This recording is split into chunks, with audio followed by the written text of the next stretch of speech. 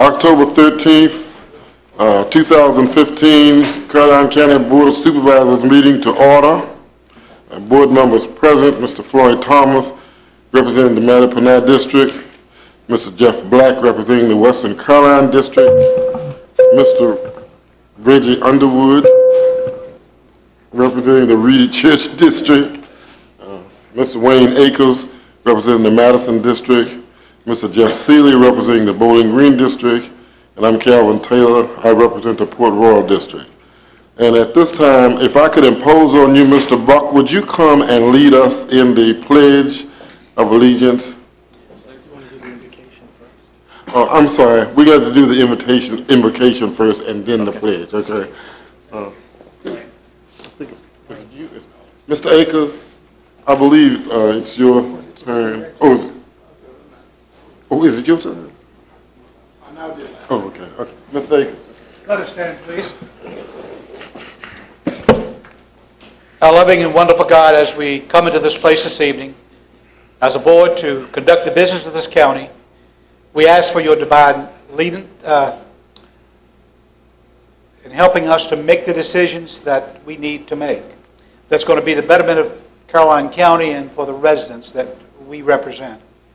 Lord, we thank you for loving us, and we thank you for blessing us as individuals and as a county. And we just ask that you'll continue to guide, direct, and be with us as we go through our daily lives. Again, we thank you for just loving us and undergirding us with your love. What is in Jesus' name we pray. Amen. Please join me in the Pledge of Allegiance. I pledge allegiance to the flag of the United States of America and to the republic for which it stands, one nation, under God, indivisible, with liberty and justice for all. Thank you.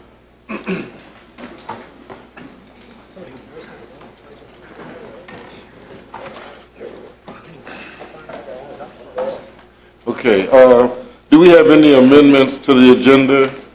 Uh, Mr. Chairman, no, we do not. Any board members?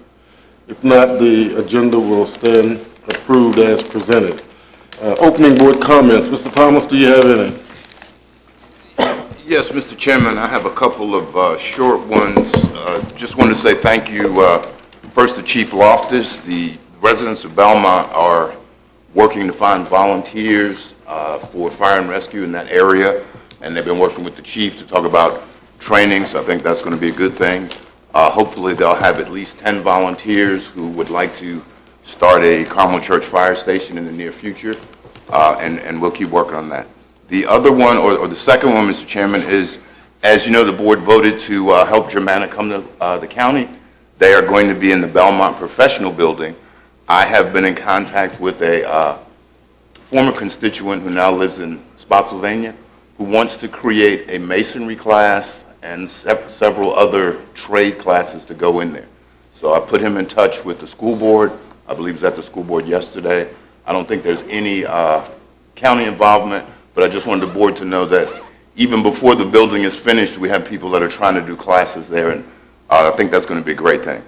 And the last one, Mr. Chairman, uh, the high school construction is going along wonderfully, but none of us uh, ever thought of the impact that was going to have on the polling place, because the Mattaponi district, the entire district uses the high school gym. And if you've been by there lately, you notice that the high school gym parking lot is basically gone. Um, And after further review, most of the lights inside the parking area are also gone. So I met with Mr. Whitman, uh, the electoral board, and school officials, and I believe, again, he asked uh, Chief Loftus for some help. So we're going to uh, try to use the fire and rescue lighting to keep a safe environment. And because most of the parking is gone, they'll be probably about a quarter mile to a half a mile away from the poll. I think he's got some uh, golf carts we're going to shuttle the handicap to the polling place too. So I I appreciate that in advance, gentlemen, and wanted to make sure the citizens have a safe voting experience. That's it, Mr. Chairman. Thank you very much. Thank you, Mr. Thomas. Mr. Black? Not at this time, Mr. Chairman. Okay, Mr. Underwood? Yes, sir, Mr. Chairman, thank you. Just two. Want to certainly thank the, our um, professional staff, the sheriff's office, uh, EMS Rescue for helping us with the uh, UCI bike race that went through uh, the Reedy Church District. Certainly, uh, it was an event that um, was was a national event, and I think uh, we we got some exposure. Also want to say thank you to Sheriff Lippa and his staff. On last um, Saturday, he had a community relations day where he and his um, staff came out and got to meet some of the residents of the community, played uh, a little basketball, threw football around. But just the first steps in being proactive in terms of community policing. So I certainly wanted to say thank you to the sheriff for, for that, and we look forward to doing uh, activities again as a group to build our relationships in our county with our citizens so we can be proactive. So that's all, Mr. Chairman. Thank you. Mr. Akers? Mr. Chairman, I do. Um, On the 22nd of October at 7 o'clock, I have a constituent meeting at uh, in Ladysmith Village at the library uh, at Ladysmith Village. Uh, We had one last night in uh, Lake Caroline. It was well-attended. Uh, And basically what I've done is just to explain what's going on and to uh, have some insight as to how Walmart and uh, is going to impact uh, the county and certainly impact the area of of Ladysmith. And then on the 29th of October, I will be in uh, Pendleton subdivision at 6 o'clock uh, with the same group of uh, staff. Just want to let that be known. Thank you, Mr. Akers. Uh, Mr. Seeley? Just want to remind everybody that the Harvest Festival is this Saturday. Uh, The weather looks like it's going to be on the cool side, which is always good for Harvest Festival. Looking forward to seeing all kinds of folks there. Thank you. And I just have a couple of, um, would like to remind board members that the registrar and the board of electors are visiting the polling places. Uh, They were at the Woodford precinct this morning. Uh, So if you would like to be there when they schedule the visit, you could certainly check with the registrar, or, or, or I suspect the registrar will probably let you know. Uh, But that's something you might want to keep in mind, uh, is they are visiting the polling places, and if you have concerns or issues, you could certainly be there. If you could be there with them, you may be able to address any issues that you may have.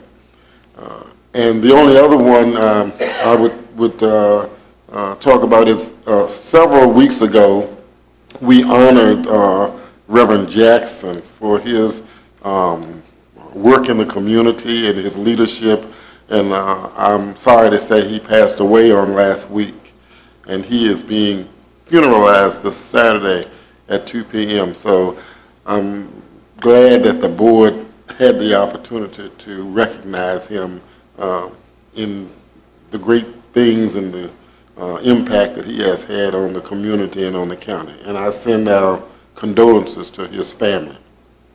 Uh, Having said that, that takes us to uh, presentations and reports. Uh, Our first presentation is the recognition of Andrew Buck for Carlisle High School Memorial Garden Project. Uh, Mr. Buck, you may come forward, uh, and while he's coming, I'm going to read his resolution such that we will all benefit from uh, what's been uh, written here. And it says, "A resolution congratulating Andrew Buck for the completion of his memorial garden at Carlisle High School. Whereas Andrew Buck, a Carlisle High School junior and member of the Boy Scout Troop 173 in Bowling Green, recently held a dedication ceremony for a memorial garden he completed at Carlisle High School. And whereas the garden, which consists of benches, ringing a semicircle pathway lined with flowers and dogwood and cherry trees with a weeping willow at the center, was conceived, designed, and constructed by Mr. Buck with the help of family, friends, and his Boy Scout troop.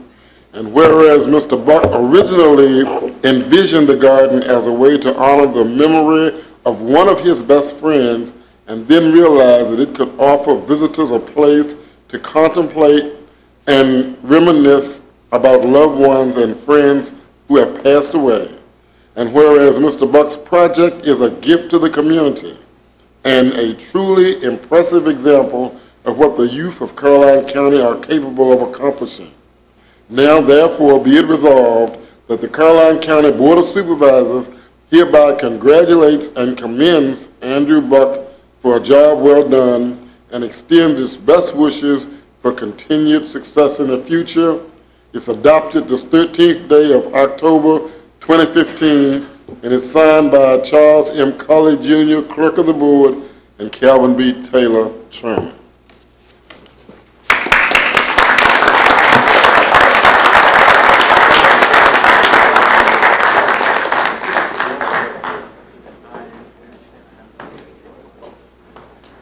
You want to say something?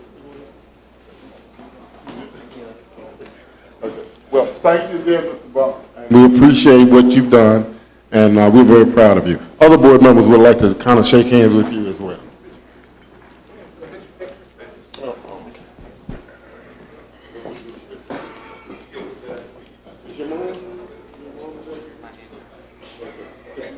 Uh, If you, if there's a family member from Mr. Buck that's here, you're welcome to come forward if you would like. Oh, okay. Ah, Mr. Taylor, to my left. Okay.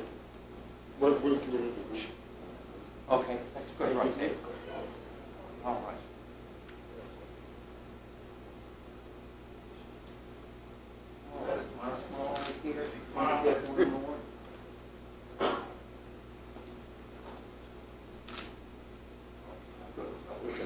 Thank you, and they would like to see you. Congratulations. I've been working on the project for years.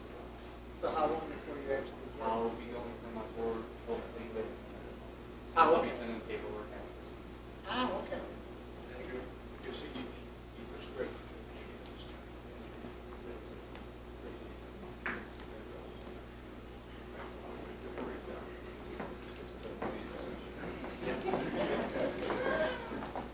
You want to sit? Uh, Well, Next one? well, I guess, I gotta read it, so. It's kind of hard to do that standing up. It is, it is. Again, congratulations to Mr. Buck, and we appreciate all the hard work that he did. Um, Our second presentation is the adoption, the adoption of a resolution designating October 21st through 31st, 2015 as Red Ribbon Week in Caroline County. And it says a resolution declaring October 21st through 31, 2015 Red Ribbon Week in Caroline County and honoring the Young Marines program. Whereas the Young Marines is a drug demand reduction program sponsored by the Marine Corps League membership is for children ages 8 to 18 or through completion of high school. And whereas the Young Marines models its program after Marine Corps values of honor, courage, and commitment by focusing on teaching youth to live a drug-free lifestyle and teaching ideas such as leadership, teamwork, and disciple.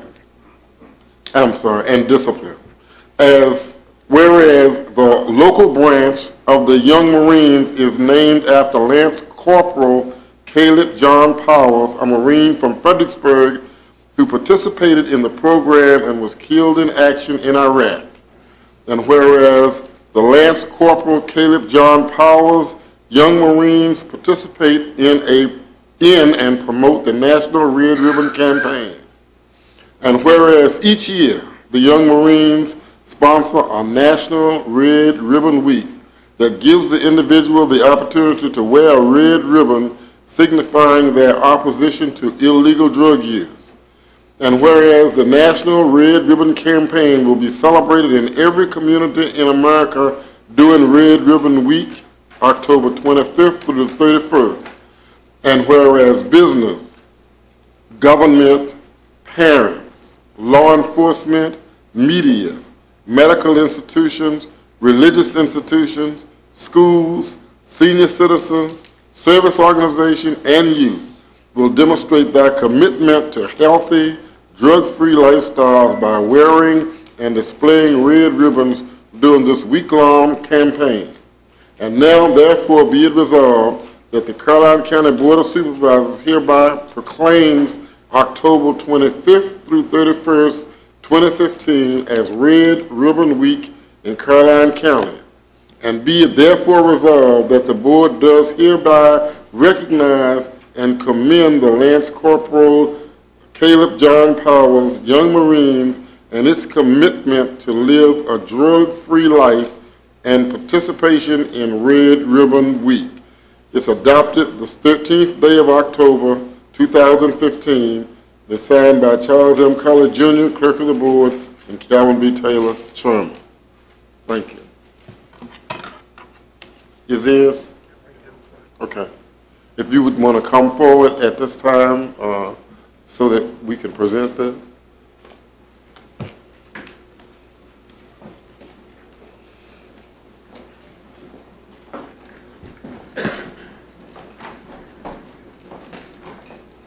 Again, on behalf of the Caroline County citizens and the Caroline County Board of Supervisors, I would present this resolution to the both of you and wish you much happiness and success. Okay? Thank you. And the other board members, well, we need to take this.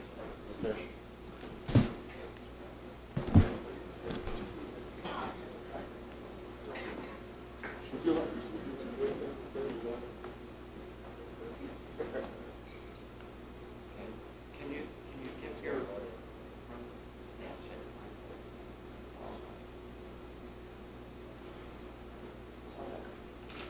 Small right here, even green small. One more.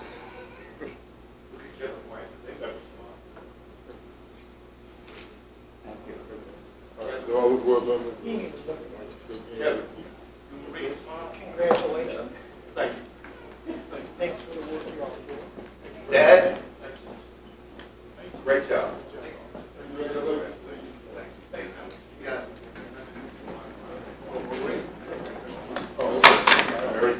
You know, I am, this is county grant.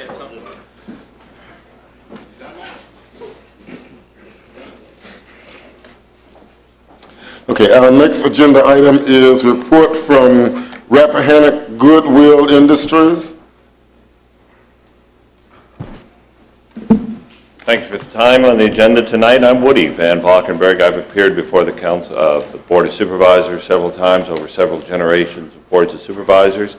I'm here tonight just to say thank you because I am retiring after 35 years at Rappahannock Goodwill Industries. I want to thank you and the citizens of the uh, Caroline County for their, your support of uh, Rappahannock Goodwill Industries. I also plan to introduce and allow us to say a few words my successor.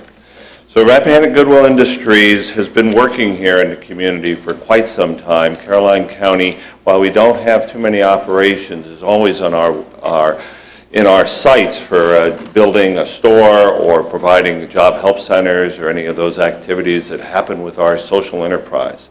You do know, I've heard tonight from uh, some, uh, some fine people about our trailers that collect the donations. What you might not know is those donations go through the stores, we probably know that. The profits of those stores go into our social enterprise, providing such programs as, as job help centers, places where people can go for free to help them learn how to use the internet for job seeking, to learn interviewing skills, to get their resumes in order, in short, to get on with the business of work. Rappahannock Goodwill Industries also provides employment for quite a few people who otherwise can't find employment in mainstream, in the mainstream world. Primarily, those folks are people with significant disabilities. Caroline County goes back years. Prior to my time with Rappahannock Goodwill, which, if you do the math, is 1980, uh, in the, in the 70s, Rappahannock Goodwill, our predecessor organization, Rappahannock Rehabilitation Facility, was supported by Caroline County. And when I say support, again, it's through the various uh, programs that we offer. It has never been, to my knowledge, through asking for any kind of budget allocation. We don't do that. Our social enterprise is the economic fuel to run Rappahannock Goodwill Industries. So I am retiring after 35 years, and uh, again, want to thank all the county administrations, the supervisors, and the Caroline County people for the support of Goodwill. One person I really want to thank, particularly with her work of late, is your own tourism manager, Kathy Beard, who is my boss. Kathy has been a longtime member of the Board of Directors of Rappahannock Goodwill Industries and has served in the role of the chairman. And during that time, we went through succession planning, search, and chose my successor, and Kathy ran that well. You might want to find, well, she doesn't want me to say find another position in the county, but Kathy is here. You all know Kathy. She has been wonderful for our Board of Directors. So I want to introduce Donnie Tolson. He's our current Chief Financial Officer. He will be succeeding me as President and Chief Executive on January 1st. Uh, Personally, I couldn't be more pleased with Donnie taking this position. I've known Donnie for over 25 years. He's a colleague, he's a mentor, and he's a friend. I believe that Rappahannock Goodwill Industries will continue along the path that it has in growing and serving even more people with barriers to employment. Donnie has a 27-year career with Goodwill Industries International, and then he took what he refers to now an extended sabbatical. For about seven years, he was retired, and then I found that the Goodwill burn hadn't really gone out. And I found him sitting on his porch in Front Royal, Virginia, and brought him, he said he'd give us two years, it's five years, and he's now taking on the president and CEO role. I'd like Donnie to have a, a few minutes to paint a picture of what he sees as a future for Goodwill. Thank you very much again for the support you've given to the company and to me personally. Thank you, sir. And I'll be very brief. Uh, I want to thank each of you uh, supervisors for your public service. You know, communities don't work without the support of the governance function. And we particularly on the drive-in appreciated all the fine signs that uh, Supervisor Seeley had out there. And judging from their quality, I'm sure you'll do quite well. Um, So I look forward to working with you, with the county administration, with the Economic Development Authority and others as uh, Rappahannock Goodwill Industries helps you uh, build a community and series of communities together. You know, I'm- going to remark just very briefly that our founder, 1902, said, "Be dissatisfied with your work until every handicapped and unfortunate person achieved their fullest usefulness and enjoyed a maximum of abundant living." And he said that a long, long time ago, about the time Woody started his Goodwill career. Uh, And that is what we believe, one job at a time. We're in the workforce development business, one job at a time, regardless of the barrier, chronic poverty, illiteracy, criminal history, disability, uh, what have you. Um, Now, you guys are hitting some home runs on the economic development front, and that's well known throughout the region. And so I think it's safe to say from that perspective, and we would appreciate being at that table when those discussions are had.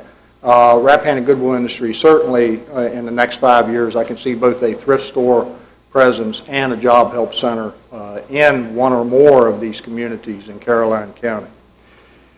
And I could go on and on and on, but I tell you, the best spokesperson for what Rappahannock Goodwill Industries does, and indeed all Goodwill Industries, are, is one of our many successes. So, uh, with a little help from Joey here, we're going to try and, if you, 90 seconds, crane your necks in that direction.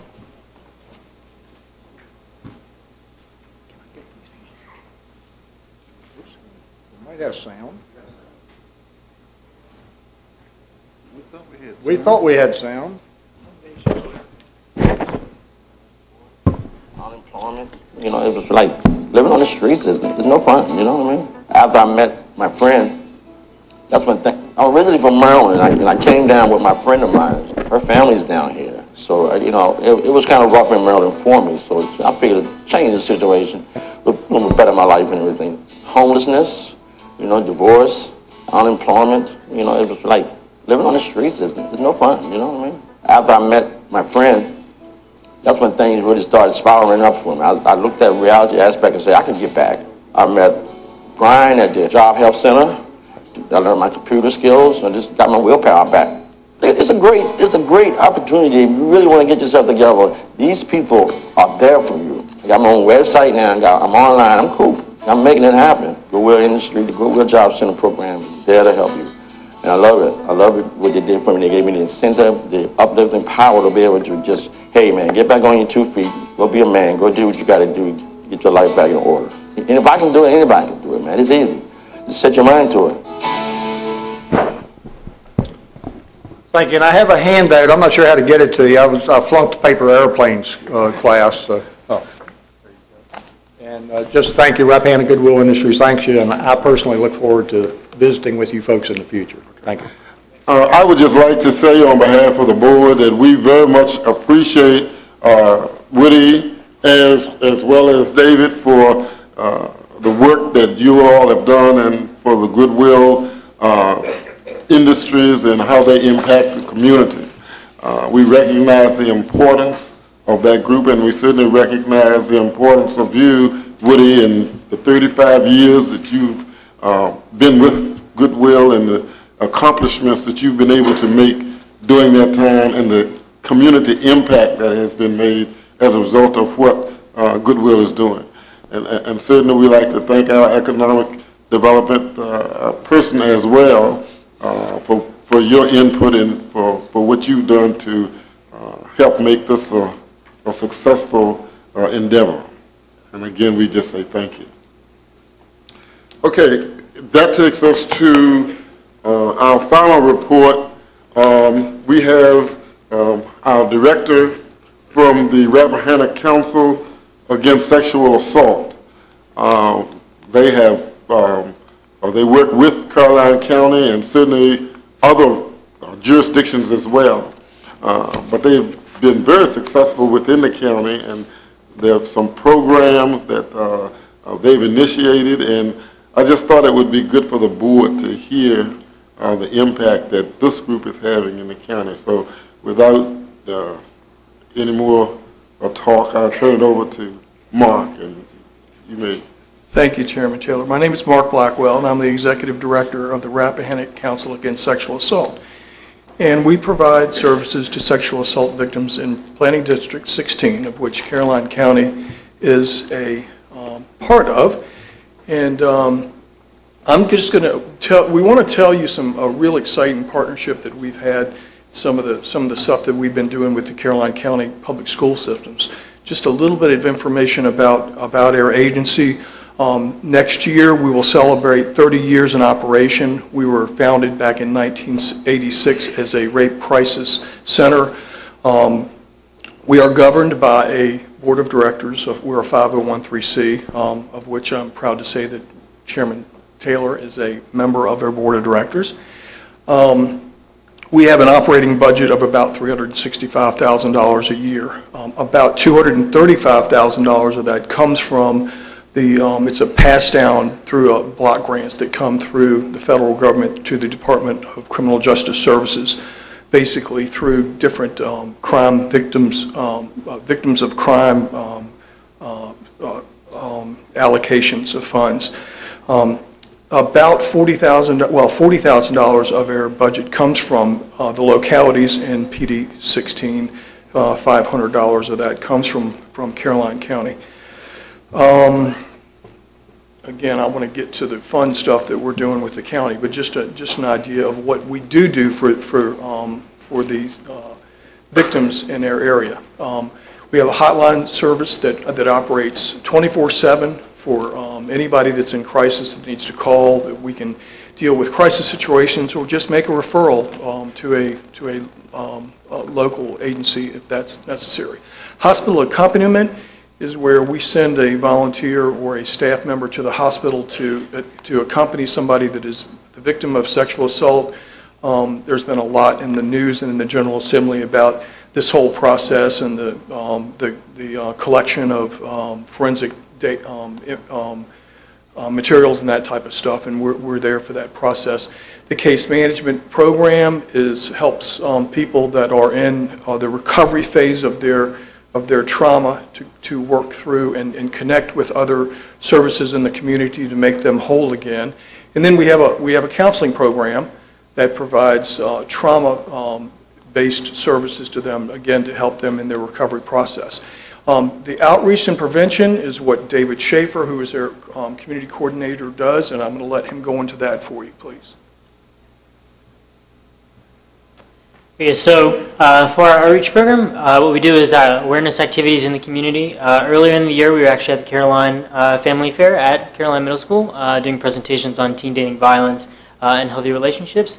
We are going to be at the Harvest Festival at the end of the week, and we participate in other awareness activities in Planning District 16, um, including uh, vigils on uh, community campuses uh, as well as Germanna um, and uh, social media out, uh, outreach and activities like that.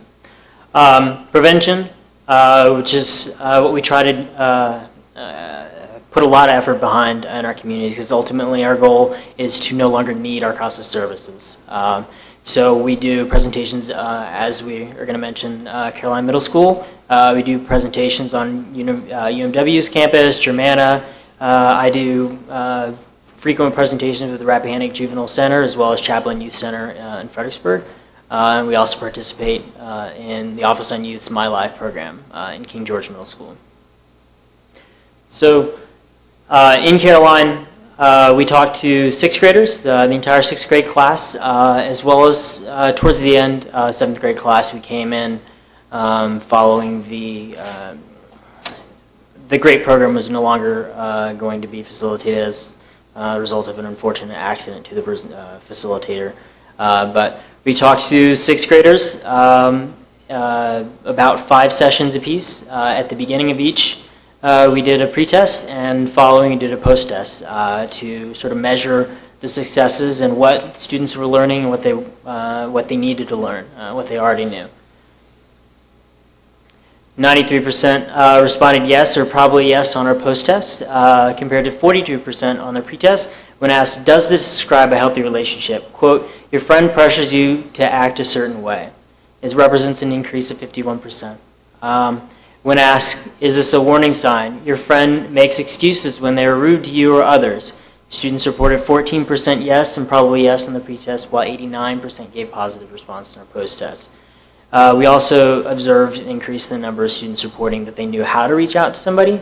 Um, so that would be 71 to 93 percent. Um, those two uh, first questions are our primary targets. Uh, we wanted to make sure that students were not only uh, recognizing uh, unhealthy uh, but also healthy uh, behaviors in relationships, or what we would call red flags or green flags. Um, and we also wanted to make sure that students knew who to talk to. Um, I've previously uh, facilitated, and has previously facilitated similar presentations to other communities in the past. And what we notice is that there's a dramatic increase in what students are being able to recognize. So the great the great work that is already being done with regards to bullying, uh, as well as other violence prevention efforts in the community and schools, uh, are being uh, recognized in these uh, pre-test and post-test, as well as the work that our COS is doing. And if you all have any questions for uh, us tonight uh, or in the future, we'd be happy to answer them. Thank you. Thank you very much. Uh, I just wanted the board to uh, kind of be aware of, of of the input that this group has within our county. Uh, I'm sure the sheriff could attest to the fact that, you know, how important training our young people is. Uh, If we can meet them uh, at early ages and begin to deal with some of the issues that they have, then hopefully we can help to put an end to some of the tragic um, things that go on. Just this afternoon, uh, Interstate 95 was closed down uh, between Massaponax and uh, I think Route 3 because someone jumped off the bridge. And more and more, we are hearing about issues uh, of, of tragedy. And while I don't know that it's our job necessarily to do that, but I think it's the job of the country to do what we can to try and head off some of the uh, terrible things that are going on. And certainly through this group, and, and many, many other groups, uh, training, learning to identify certain issues and behaviors, and having some type of program in place to try to address it is probably the only way we're going to stop it. So basically, that's, that's why they're here. Uh, if other board members, do you have questions or comments? If so, you could uh, speak at this time. I I just had a question about something Mr. Blackwell referenced. Sure. Um, Mr. Blackwell, you referenced the, um, during your presentation, the news story about test kits that, that weren't being processed. Are you involved in that, or is that purely state law enforcement? Um, That would most likely be uh, state law enforcement. We try to uh, maintain our focuses on the victims and supporting the victims. Um, So we would work with law enforcement as well as Commonwealth's Attorney's Office um, when it comes to specific cases, but we're not actually involved in sort of the pushing of um, actually testing these uh, these kids. Okay, so that's not something that, the, the county helps fund you, um, and, and in this case, since you're not doing that, it's all on the state, and, and we need to be more active on the state level. Yeah, yeah. And as far as I, as far as uh, I'm aware, um, the uh, the state uh, and the communities as well as the rest of the country are really uh, beginning to take uh, some great leaps when it comes to uh, testing these kits and um, addressing sexual and intimate partner violence. Thank you, Mr. Chapin. Uh, Mr. Black, did you have, hey, Mr. Underwood? Thank you. Mr. Akers? No. Mr. Seeley? And I don't have any more. Again, thank you for what you do, and we uh, very much appreciate your presentation. Okay, that takes us to appointments. Um, Recreation Advisory Committee at-large member. I don't know if that's, um, we have a person for that. Uh,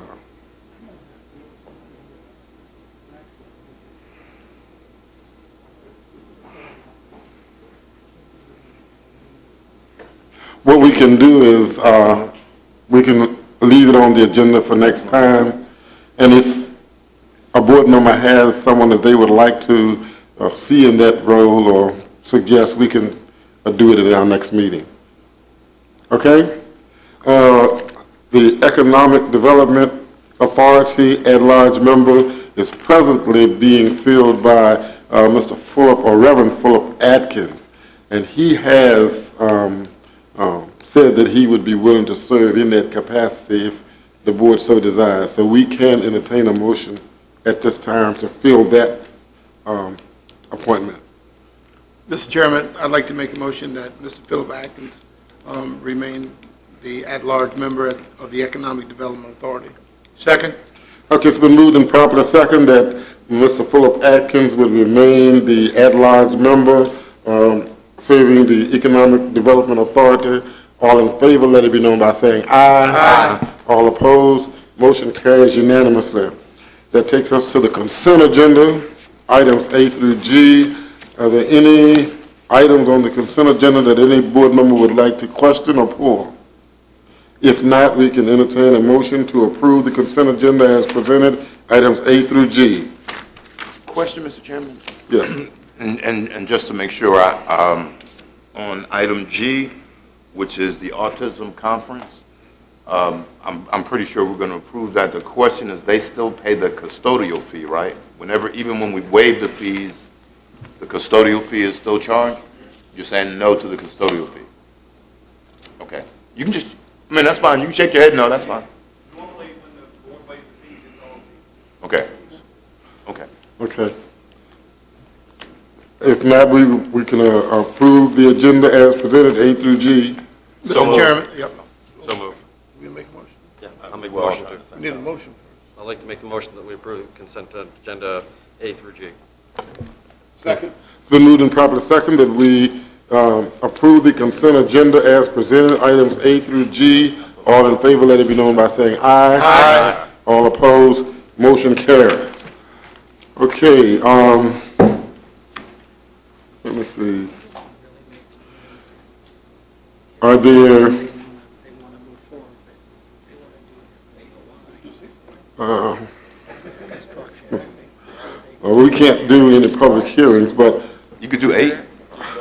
Okay, approval of change order number two for Motorola Public Service uh, radio project. We can look at that one, agenda item eight. Mr. Chairman, members of the board, um, it- it- when uh, Deputy Chief Garnett gave the update uh, a couple of meetings ago, a question came up about full foliage for the the testing, which we actually have started this week, and obviously, we're not at full foliage at this time of year. And so we, working with uh, Dave Munis from Federal Engineering and Motorola, got them to agree that any grids that come back between one and two bit error rate, with two would be the, the worst you could have. Anything more than two, it's failing.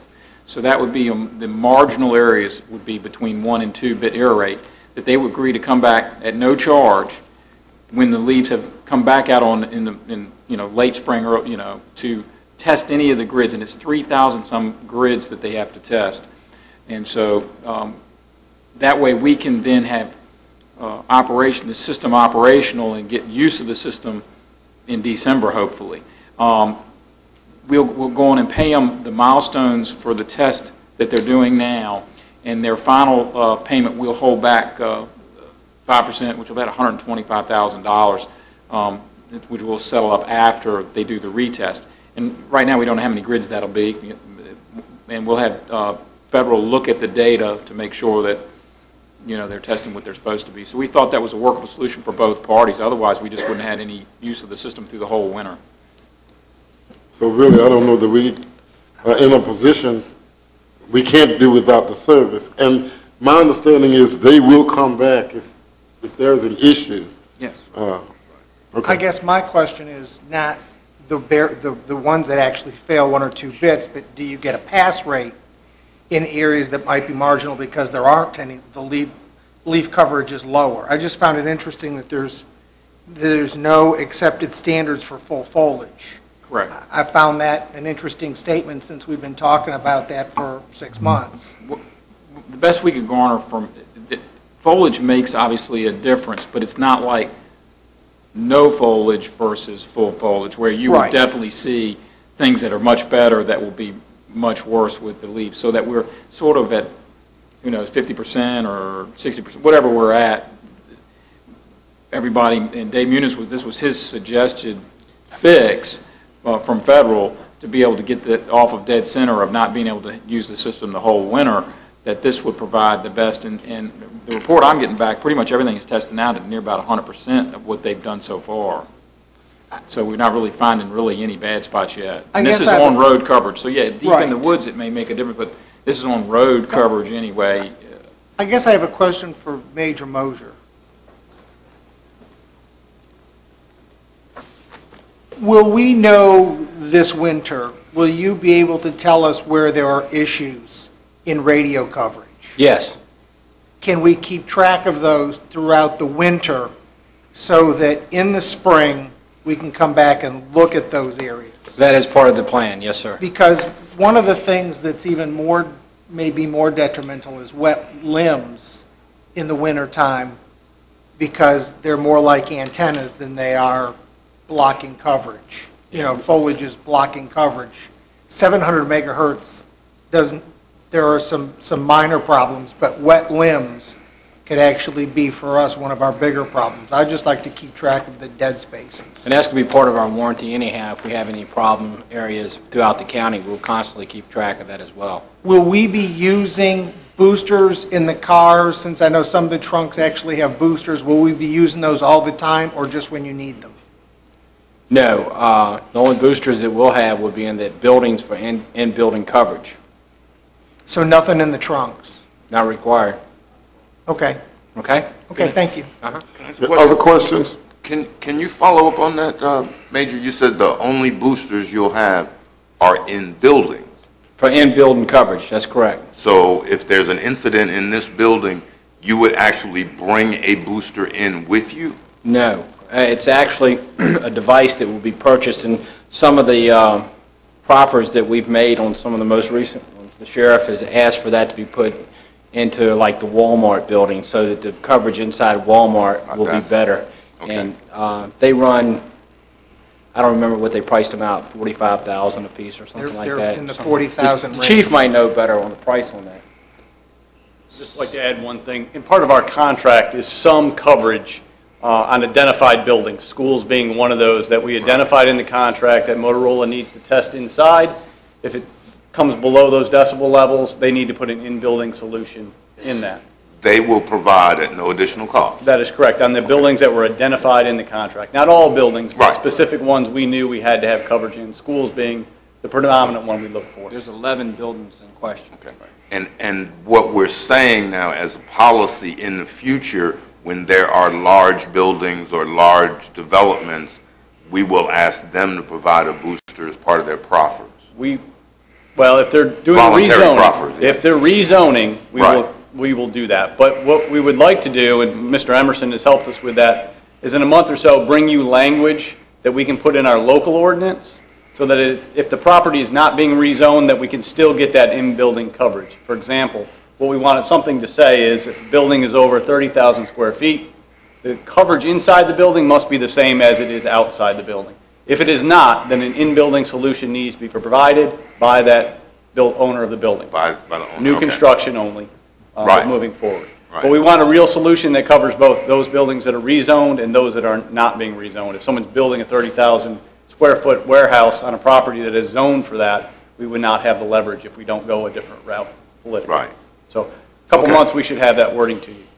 All right, and that's, that's been a key thing that that the the sheriff and you have said before, is in building there sometimes when you don't have the proper reception. That's correct. Okay, my last question is, is the, we're withholding 122,000 and change, um, whatever that number was, 122,739. Is that realistically um, enough to rectify any problems we determine?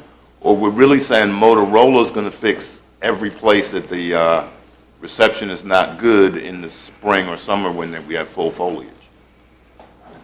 This is, the way the contract was set up, they're supposed to do this coverage Right. test. It's supposed to pass. Right.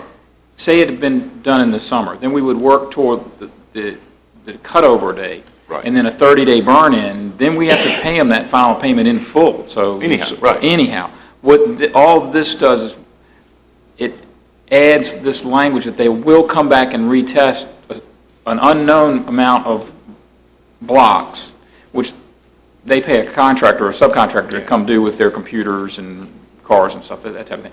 So it, we will be identifying during the 30-day burn-in, everything we can identify that's not working to what we would think the contract called for. And we would have this layout of these areas that we know are marginal, they're going to retest. So I, I think that's pretty much enough money to cover all of, all of that, that we would need. That's kind of what I thought, I just wanted to hear you say it. And, and the reality is, we, you know, the best laid plans of mice and men, we had intended this to be done in the summer, but because we didn't get permission from the state police through general services. Correct. At the state level, we're now kind of behind the eight ball, but luckily, the vendor is going to work with us, so we'll be able to be up and running in December. Okay? Thank you, sir. Okay, other questions? If not, a motion is in order. So moved, Mr. Chairman, that we uh, accept this zero-cost change order. Second. Been moved and properly second that we would approve change order number two for Motorola Public Safety Radio Project as presented. All in favor, let it be known by saying aye. Aye. All opposed, motion carries unanimously. Uh, Can we do number nine? Is that, do we have time enough to do that? Okay, uh, agenda item number nine, possible adoption of um, VA USBC Property Maintenance Code to address code violations at county motels.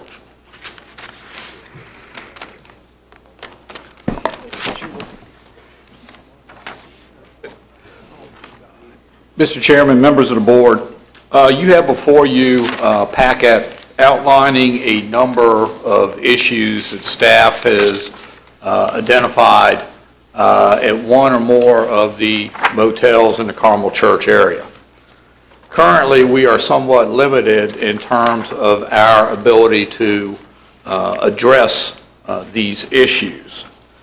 And what you have before you is a request from staff for the board to consider a limited adoption of the, uh, of a specific section of the Virginia Uniform Statewide Building Code uh, as it relates to uh, property maintenance of certain types of residential structures. You have the issues that have been identified. You have the supporting documentation from uh, the Virginia Uniform Statewide Building Code. And you also have a schematic which outlines uh, a potential limited area in, within the, the Carmel Church uh, growth area for consideration of adoption of an ordinance specific to these areas. The board's aware that we've had a number of complaints at, at, at these facilities uh, over the years. Those complaints uh, have increased um, to the point that uh, we have a, I think, a legitimate concern about health and safety issues. And we get these complaints from not only within our department or within building inspections, but from other departments and agencies as well. Uh, And collectively, we have identified this as, as the uh, one step, and, and I would argue the first and most important step in terms of addressing these issues. Um, Mr. Whitman has assembled uh, much of the documentation that is included in your presentation uh, and is here to answer any specific questions related to the, uh, the code, the authority, uh, and the, the details of how it would work. Uh, But again, the boundary that you have in there is a very limited uh, boundary uh, designed to address existing or potential locations for um, uh, motels in the Carmel Church area. You have anything you want to add, Kevin? Uh, Yeah, the, the question that I had, asked, just as I was looking through here, um, I was under the impression that if a building is unclean or dangerous or is, uh, has the potential uh, for a person to be sick or, the- is the health department not uh, an avenue to address these issues. You know, I'm not saying I'm not, that we don't need uh, property maintenance, but, you know, where does the health department fall in, in line with this, these kinds of situations? Yes, sir. Um, In the report there, some of those are health department inspections, and we actually did a joint inspection where those photographs are of the studio cities. It- If there is a, a potential for a, a health concern, they do have what they call a motel inspection program, and how they execute that, uh, I'm not really sure. I've never known them to go forward with any enforcement, nor when we did the joint inspection, did they let me know. Once we got done, and then a couple days later, they said, hey, Kevin, here's our report. So I, I don't know what action they do take, but by the Uniform Statewide Building Code, any residential unit that we get a complaint on, we being the building department, it gives me the authority to go and specifically address the life safety issue or the building code item that is in the complaint, but it doesn't give me the jurisdiction to do further inspections of the facility.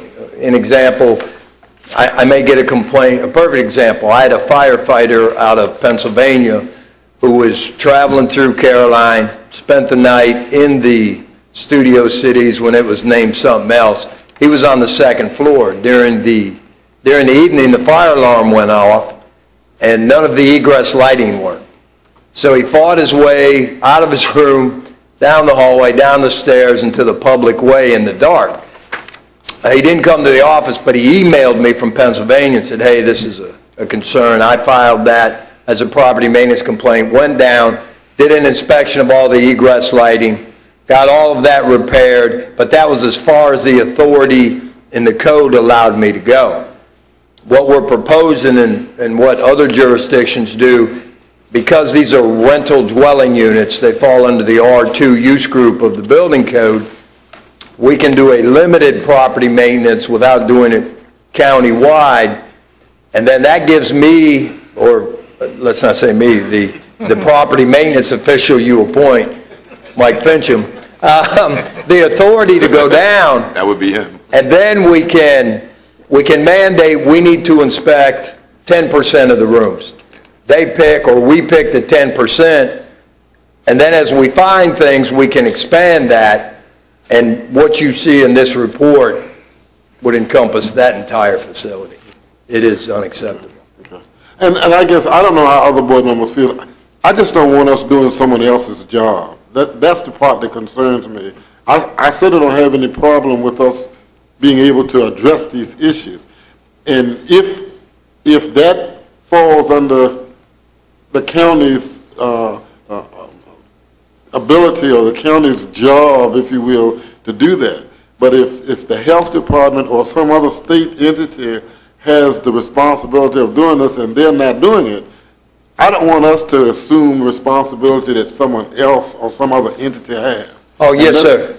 And this is twofold. Within that report, half of that responsibility is ours because it's the uh, smoke detectors, it's the plumbing, it's the structural integrity, it's the life safety issues as far as guardrails, handrails on the stairs. That part is ours. The, the bed bugs, the silverfish, the mold, that would be the health department, and it would be a joint effort. So it's about 50/50 in the report whose responsibility it is. Okay, Other board members? I had just, just one, Mr. Taylor. We've been, uh, we've been working, I'm sorry Mrs. Beard left, but we've been working with this area for, I guess, since I had hair, which is a long time ago. And, and we had complaints about the, the water was the problem, and we fixed the water issues, and really, it's, it's just become embarrassing. Yes, sir. Um, If you've read the reviews on the web, it's, you know, please pass this exit, don't stop here. Yes, sir. Uh, I don't know how the government can, you know, actually control or regulate a building, but if you're going to run a hotel in Caroline, it's got to at least be a certain standard. So I think this is a first step in moving that standard, and maybe we should be more aggressive. I, I mean, I would vote for as, as aggressive as possible, because my patience level is not what it used to be, but we, we need to fix this as soon as possible. And Mr. Thomas, the, the approach would be, if we adopted this ordinance, go in and hit them all, full scale. It's going to take a little while, get them up online, and then once they're online, then it's a maintenance schedule, an inspection of, like I said, 10%, and, and the authority is in the maintenance code to allow us to do that. A- And I feel, when I get a complaint, and the example I'll use is the firefighter out of Pennsylvania, went through, made sure, and I kind of stretched it a little bit, got exit lighting and smoke detectors in the hallways, because I couldn't go into each room. I didn't have the authority, but the smoke detectors in the hallway, we got all of those up to speed. What you see in this report is that same motel, and them smoke detectors that are gone, the only thing that's left is, is what you attach it to, who knows where they are. Here, we're back again some two years later. So with a maintenance program, I think we can prevent the severity of what you see in this report. But I mean, the, the photos, the photos are, are embarrassing, if not illegal. But I have a personal story. One of my constituents who I know and love very well was at our house when the power went out. She drove to Carmel Church to have a place to stay with lights. And after 10 minutes, drove back home and said, I'd rather be at home in the dark with no power than down there. So it's that bad, and we really need to fix it because we're doing a lot of things, a lot of good things in that area. I imagine we're going to have a lot of visitors in that area soon, so we need to do all we can to make it better. I don't know what, what's a cultural thing or whatever, but we need to fix it now. My other, my other concern in, in going along with the, the fire safety stuff is the one from uh, Ricky Madiak, where there's a private fire hydrant that doesn't work, and there's no smoke detectors. So you end up with a fire and somebody shows up there, the fire hydrant doesn't work, the smoke detectors don't work. We have, a we have a real catastrophe. I just, the pictures, I mean, the, the pictures were just un, I mean, did they let you into these rooms to take these pictures? Did you have any issues of, Actually, it was fortuitous. The, the complaint we had from a gal that was staying there. I went there and she wasn't home or, or wouldn't respond. Um, So as I'm looking, there's doors where there's no doorknobs, no room numbers, and the doors are partially open. Well, to me, that's access, and they, they, they laugh about the one, they call it the Jumanji room. That's the photos of the mold coming and the bathroom, and, and and there's multiple rooms like that. There were no doorknobs? Nothing, zero. The And, and on top of that, for fire and rescue, if you see further in the report, the, the number of times we're responding over there is, is really sapping the resources from fire and rescue and the sheriff's department that can be utilized elsewhere in the county. Mr. Weidman, I got it, Mr. Chairman. Okay, So Mr. Can the owners of these facilities, can they be fined for, for some of the stuff that we're seeing here? Yes, now, we Uh, I mean, are we, are we, are we doing that, or do we have to? We have to this? take the steps to get there. We adopt the property maintenance code, we converge, we do the inspections, we annotate the violations, give them X amount of time to get them abated. They're not done, then we go see Judge Watner, get them into court, and then, at that time, yes. Now, we can't, the building code is not punitive, um, so we don't have fining capability, but that's when we take it into the courts. Wait, is this like, is this like regular property maintenance now? If I have to hire somebody to go in and clean up their building, I get to charge them?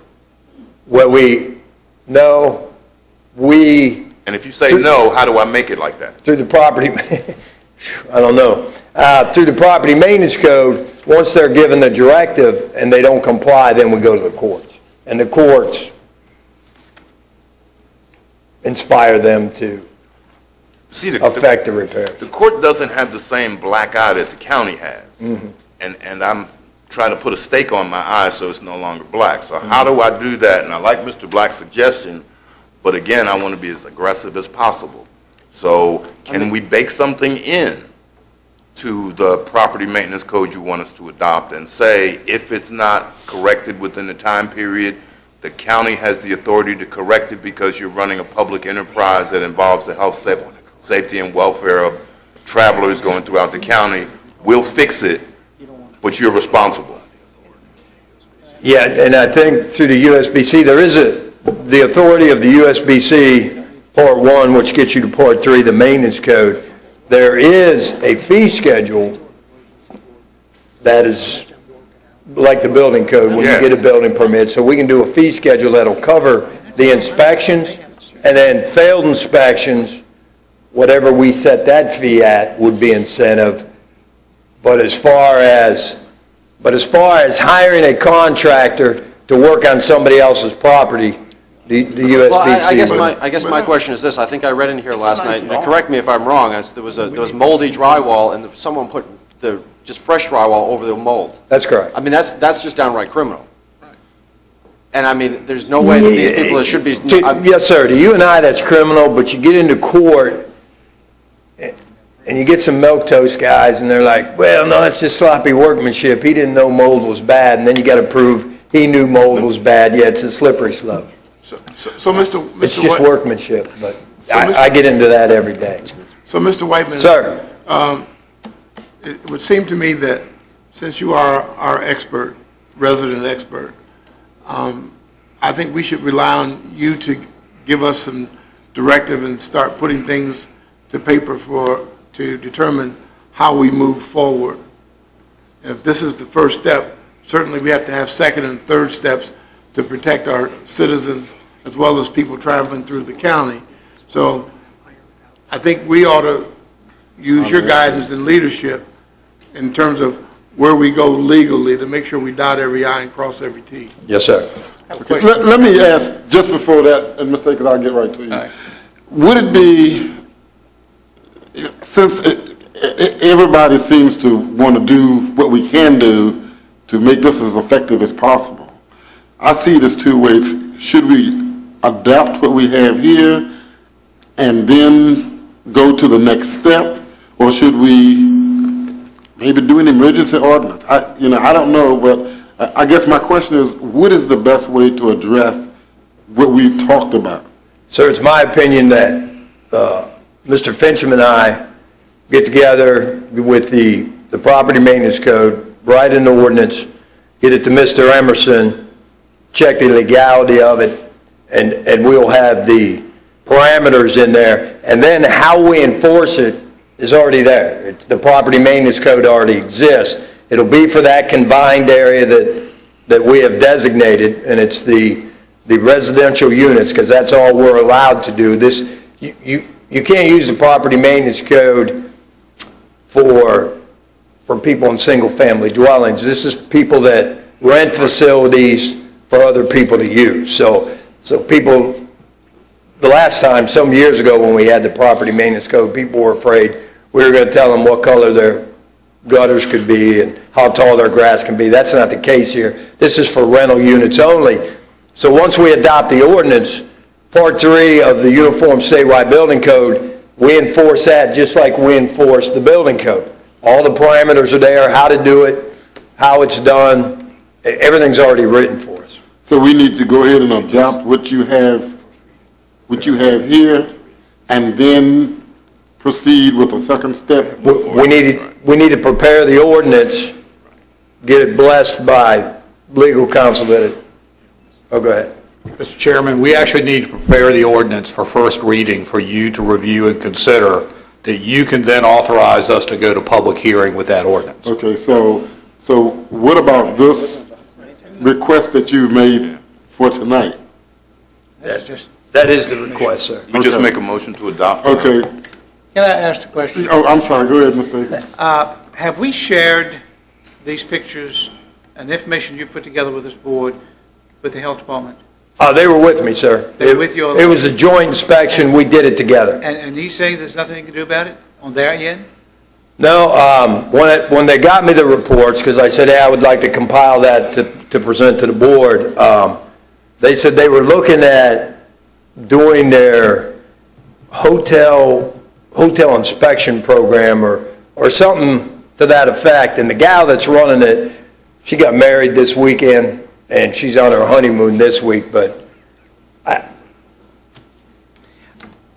What we're trying to do, I understand, is fix the problem in the long run. And I understand that completely, and I'm all for that, we need to do that. But I'm just, I just think we need to do something now in order to help with the issue, because, you know, I go by that, that one hotel on 95, right off 95, you can see it, and, and there, there are lots of cars there. So there are a lot of people staying in that hotel, or motel, or whatever it's called. Extended And It, it is, it is sad because I'm, there are some kids in that, in that place as well that are Yes, sir. staying there, that are having to live in that mess. And it appears to me that we, there's something we need, we can do. Uh, How, how fast can you expedite You know, it's that, just, please? it has to be something we can do You to, gotta to protect have those problem. children. Because I can tell you, I've seen children catching a bus there. But we don't- Okay, so I know they do. Mis- mis- Mr. Akers? Yeah. Our issue is not uncommon, is, is not limited to us. We have some articles from some of our neighboring jurisdictions that are dealing with the same issue. Right. So what we'd like to do is to have the comprehensive package for first reading for you all to look at, at, at your next meeting, which would be November 12th, I believe. Sometime in November, Right. mid-November, yes. And, and we'll also be looking at um, the extended occupancy issue as well. Okay, so you're saying there's nothing we can do between now and the middle of October to get the first reading, and then it has to go to public hearing, I'm sure, and uh, that's going to take another two weeks, uh, or does it? We'll talk to Mr. Emerson, and perhaps we can uh, address that issue in the form of an emergency ordinance, but I would not want to tell you tonight that we can do that. I would want to talk to Mr. Emerson. I don't want to wait two weeks. I think there's an emergency ordinance we can do. There's got to be a way we can have an emergency It ordinance appears which to would be the something same. we can do. Can- can- um, Mr. can- Mr. Mr. Underwood? Mr. Chairman, can, can, could during our, advertise. during our um, break, can we get Mr. Fincham and council just to start talking and see where we can go with this and bring this back to have further discussion on this? Well, You could advertise a public hearing for your next meeting. You really don't need an emergency We could adopt it at our next meeting. Okay. Okay, so what we would like for you to do is to get together with Mr. Emerson. Uh, we'll take a, it's it's time for us to take a, a break anyway. And you can come back and then we can, you can draw something up or we can advertise for public hearing for the next meeting. Okay? Yeah, let's come back and discuss this. Don't know. Okay, uh, we can recess until 7:30. We will now reconvene the Caroline County Board of Supervisors meeting October 13th. Um, Just before we go to public hearing, um, we were on agenda item nine.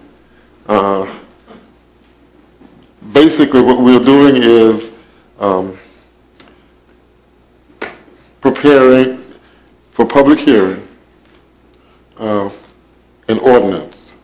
So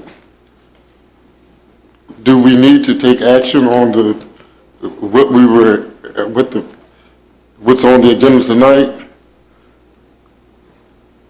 in order to do that?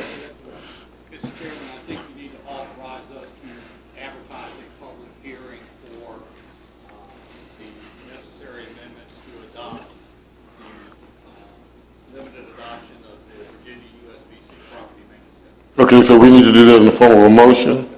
Okay. So we need a motion to authorize public hearing. Mr. Chairman, I will- I will make the motion to authorize public hearing for our uh, purs- pursuit of property maintenance issue in what was called the Property Maintenance District, I guess, at Carmel Church. Second. It's been moved and properly second that we would authorize public hearing for the uh, Virginia Property Maintenance Code, limited property maintenance code. All in favor, let it be known by saying aye. Aye. All opposed, motion carries unanimously. Okay, that takes us to uh, the public comment section of our meeting, and I do apologize, we are running a few minutes late, Uh, but this is the public comment section of the meeting. If there are citizens here who would like to address the board on any issue that's not on the agenda or not a public hearing, you may come forth at this time. Are there citizens who would like to address the board on any issue that's not a public hearing or not on the agenda? You may come forward at this time. Again, if there are any citizens who would like to address the board on any issue that's not a public hearing or on the agenda, you may come forward at this time. Uh, Seeing no one with the desire to speak, I will close the public comment section of the meeting. That takes us to public hearings. Agenda item number four is a rezoning 02-2015 Borden Randall J. BG Partners LLC, Walden Albert Douglas owners, McKinney and Company applicant. Request a rezoning from uh, rural preservation with a density of one DU per 10 acres of land to M1 industrial, no specified density, comprised of a portion of tax map number 82-A-157, 53 acres, tax map number 82A-159 in its entirety, and tax map number 82A-160 in its entirety, and totaling 190 acres plus or minus. This property is generally bounded on the west by I-95 North and the north and east by Cool Water Drive, Route 652, and generally north of Ridgefield Road, Carmel Church Loop, the Mattaponi Voting District. The proposed use is a storage warehouse and distribution facility. The 2030 comprehensive plan identifies this area as being located in the Carmel Church growth area designated as planned development. Mr. Fincham. Mr. Chairman, members of the board, your first public hearing tonight uh, is the aforementioned RZ 02-2015. The request is to rezone approximately 190 acres on all or a portion of uh, three different tax parcels uh, from rural preservation to M1 industrial uh, with conditions. Um, The board is very aware of this application. This is the application for the uh, large warehouse and distribution uh, center that the board previously authorized uh, an expedited public uh, hearing and review process for this application.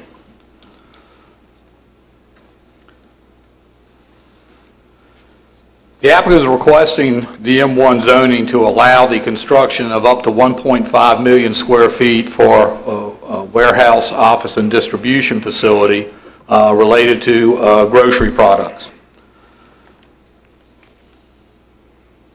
The development application that you have, including the GDP, uh, the elevations that have been included in your packet, are uh, what the, generally the- the applicant has agreed to and has been discussed with the board in your, uh, and planning commission in previous discussions. The various review agencies were submitted, uh, were provided a copy of the application. You have uh, a few comments from the agencies uh, that we would expect to receive comments from. Uh, We have a modified uh, traffic improvements to the uh, Carmel Church Loop uh, and Cool Coolwater Drive intersection to accommodate uh, the turn movements into and out of the facility.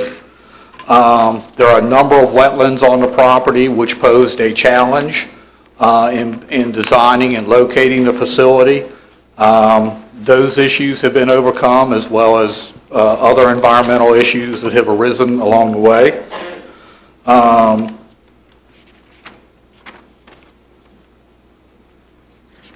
The subject property would be provided by uh, public water and sewer from the county. That would be a relatively uh, easy extension from our existing Carmel Church facilities to serve the site. The Planning Commission held its public hearing and forwarded this action, uh, this application to the Board of Supervisors with a recommendation of approval. Uh, So you have the packet in front of you, including the uh, comments from the various uh, review agencies um, and the proffers as they have been submitted. And with that, I'll address any questions that the board may have. Does the board have questions for Mr. Fincham prior to the opening of the public hearing? If not, I will open the public hearing for rezoning 02-2015 as presented. Is there anyone who would like to speak to this rezoning? You may come forward, state your name and your district if it's applicable. I am Bonnie Woods. I live on Ridgefield Road, which is uh, south of the proposed facility. Um, I was at the planning and zoning meeting, and I do have minutes of the meetings. Um, There was, there was not a VDOT officer present at the time. Um, It says here that Frank Wilson stated they had a scoping meeting with VDOT, and VDOT required additional traffic counts at the exit from I-95, and no other counts are required along Coolwater Drive. He said he believes this to be a pretty low-use road, which I contest. He said usually VDOT focuses on truck traffic rather than automobile traffic. The last impact study was done January of 2013. We are fast approaching 2016, so in a few months, we will be three years out from this traffic study. The, the study that I was provided shows that there was a traffic study done. It used figures, and this was done again in January. Now, I write commercial truck insurance for a living in Caroline County. That's what I do. And I do know for a fact that in January through March, that is the lowest time for a lot of truckers.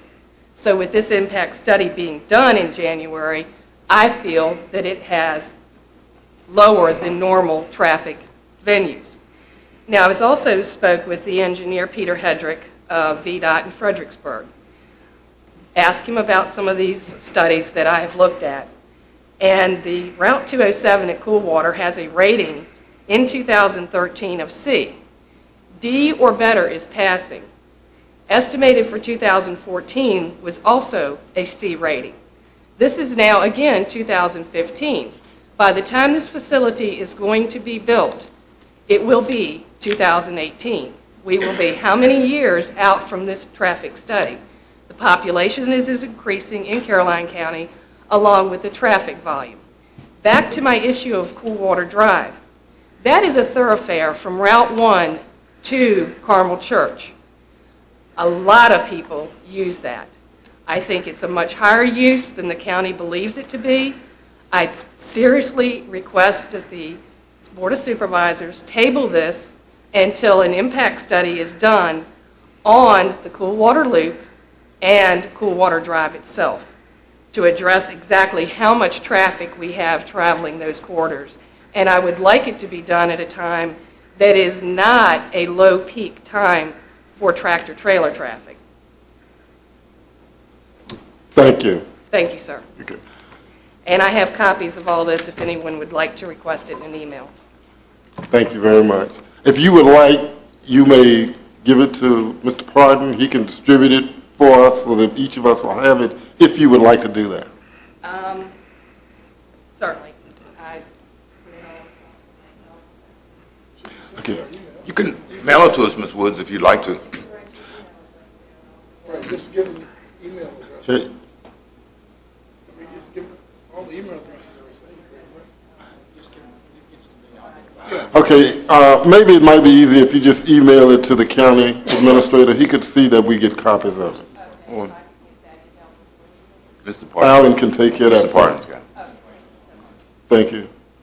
Is there anyone else who would like to speak regarding this rezoning? Is there anyone who would like to speak regarding this rezoning? Over here. Oh,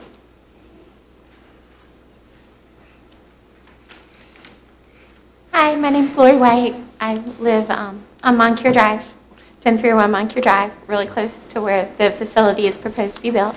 Um, I was concerned about environmental impact because it is um, a large rural wooded area and as they stated wetlands and all and I was curious what they're doing to kind of counteract the environmental impact.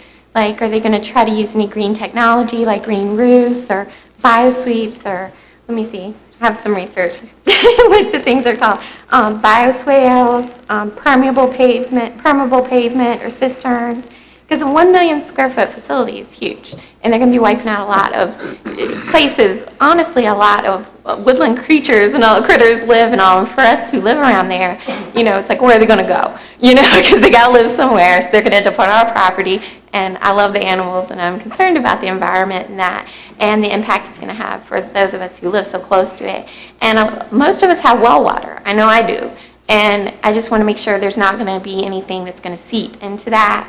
Um, there's already a problem on cool water. Every time we have a big rain, um, trash comes up, which I think is probably thrown into that big pond from the apartments and all over there. That's already had an environmental impact, you know, and maybe if they want to build the facility, they can do something positive for the environment, like help keep that clean, you know, or help do something for the environment if they do build it that remains, you know, or something like a green roof or something like that to, to help counteract environmental impact and make sure there's no runoff or anything that affects us that live around there. Um, and I think it would be a great job opportunity for us who live in the area. That's wonderful. Hint, hint. But, um, but my main concern is for the environment. And I mean, I know if eventually something's going to be built there, this sounds like a positive facility. Um, it's better than a lot of other alternative things. Um, like I said, good job opportunity. Sounds like a good, com- positive company. But I, my main concern is with the environmental impact. 'cause it's going to be such a huge, um, you know, change. They're going to tear down lots and lots of trees and possible wetlands. And like they said, it's hard to try to build around that. So, okay, that's all. Thank you. thank you very much. Uh, Is there anyone else who would like to speak regarding this rezoning? Is there anyone else who would like to speak regarding this rezoning? Finally, is there anyone else who would like to speak regarding this rezoning?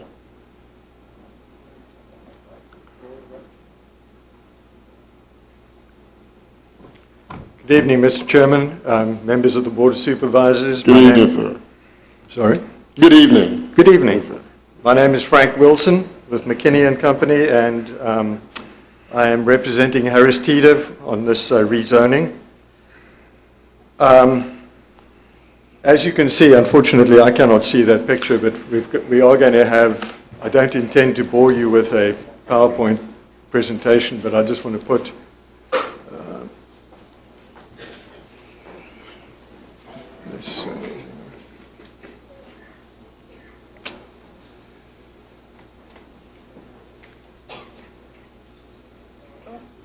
advance this thing?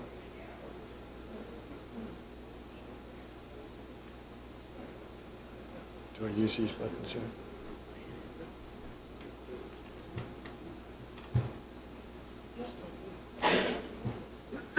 Okay, that, that's good enough. Okay. That is pretty much the same general development plan that I believe is printed on this board. Um, Harris Teeter has um, acquired two and a portion of uh, uh, and a portion of the Borden property that will be consolidated into 196 acres in order to uh, develop a, an ultimately a 1.5 million square foot uh, grocery distribution uh, facility, as you heard. The, the planning for this and the location of the building and on all the dri- and the driveways has been done to minimize environmental impacts. Um, in spite of the fact that those pink lines that you see around the streams are RPA or resource protection area lines and wetlands run down those streams. And there are many, many acres of wetlands and RPA. And in spite of that, we will be disturbing something like 0.66 of one acre of wetlands. And we'll be disturbing less than 180 feet of stream. Approximately half of the site will not even be disturbed. The, the green that you see there will be undisturbed uh, vegetation. So a concern, and those are the areas where you, where you find the, the, the, the, the species that need to be protected and the little creatures that most people are concerned about. They're not in the upland area where the, where the building is going to be located. They are actually in the part of the site that is going to be left in, in, intact, left as it is at the moment. Um, we've, uh, we've done, besides the normal wetland investigation, we have done a, a, special study to determine if there is an endangered plant species called a swamp pink, and they, are, they could not find any, any trace of swamp pink. And in addition to that, uh, we are doing an archaeological study because Caroline County and adjacent areas have a, um, have a record of prehistoric, of findings of, of relics and prehistoric um, artifacts and resources. And because of that fact, um, Harris Teeter agreed to an archaeological study that's costing them about $22,000. It's being done as we, well, not as we speak, but at the moment. And we should have um, a verbal in about two to three weeks.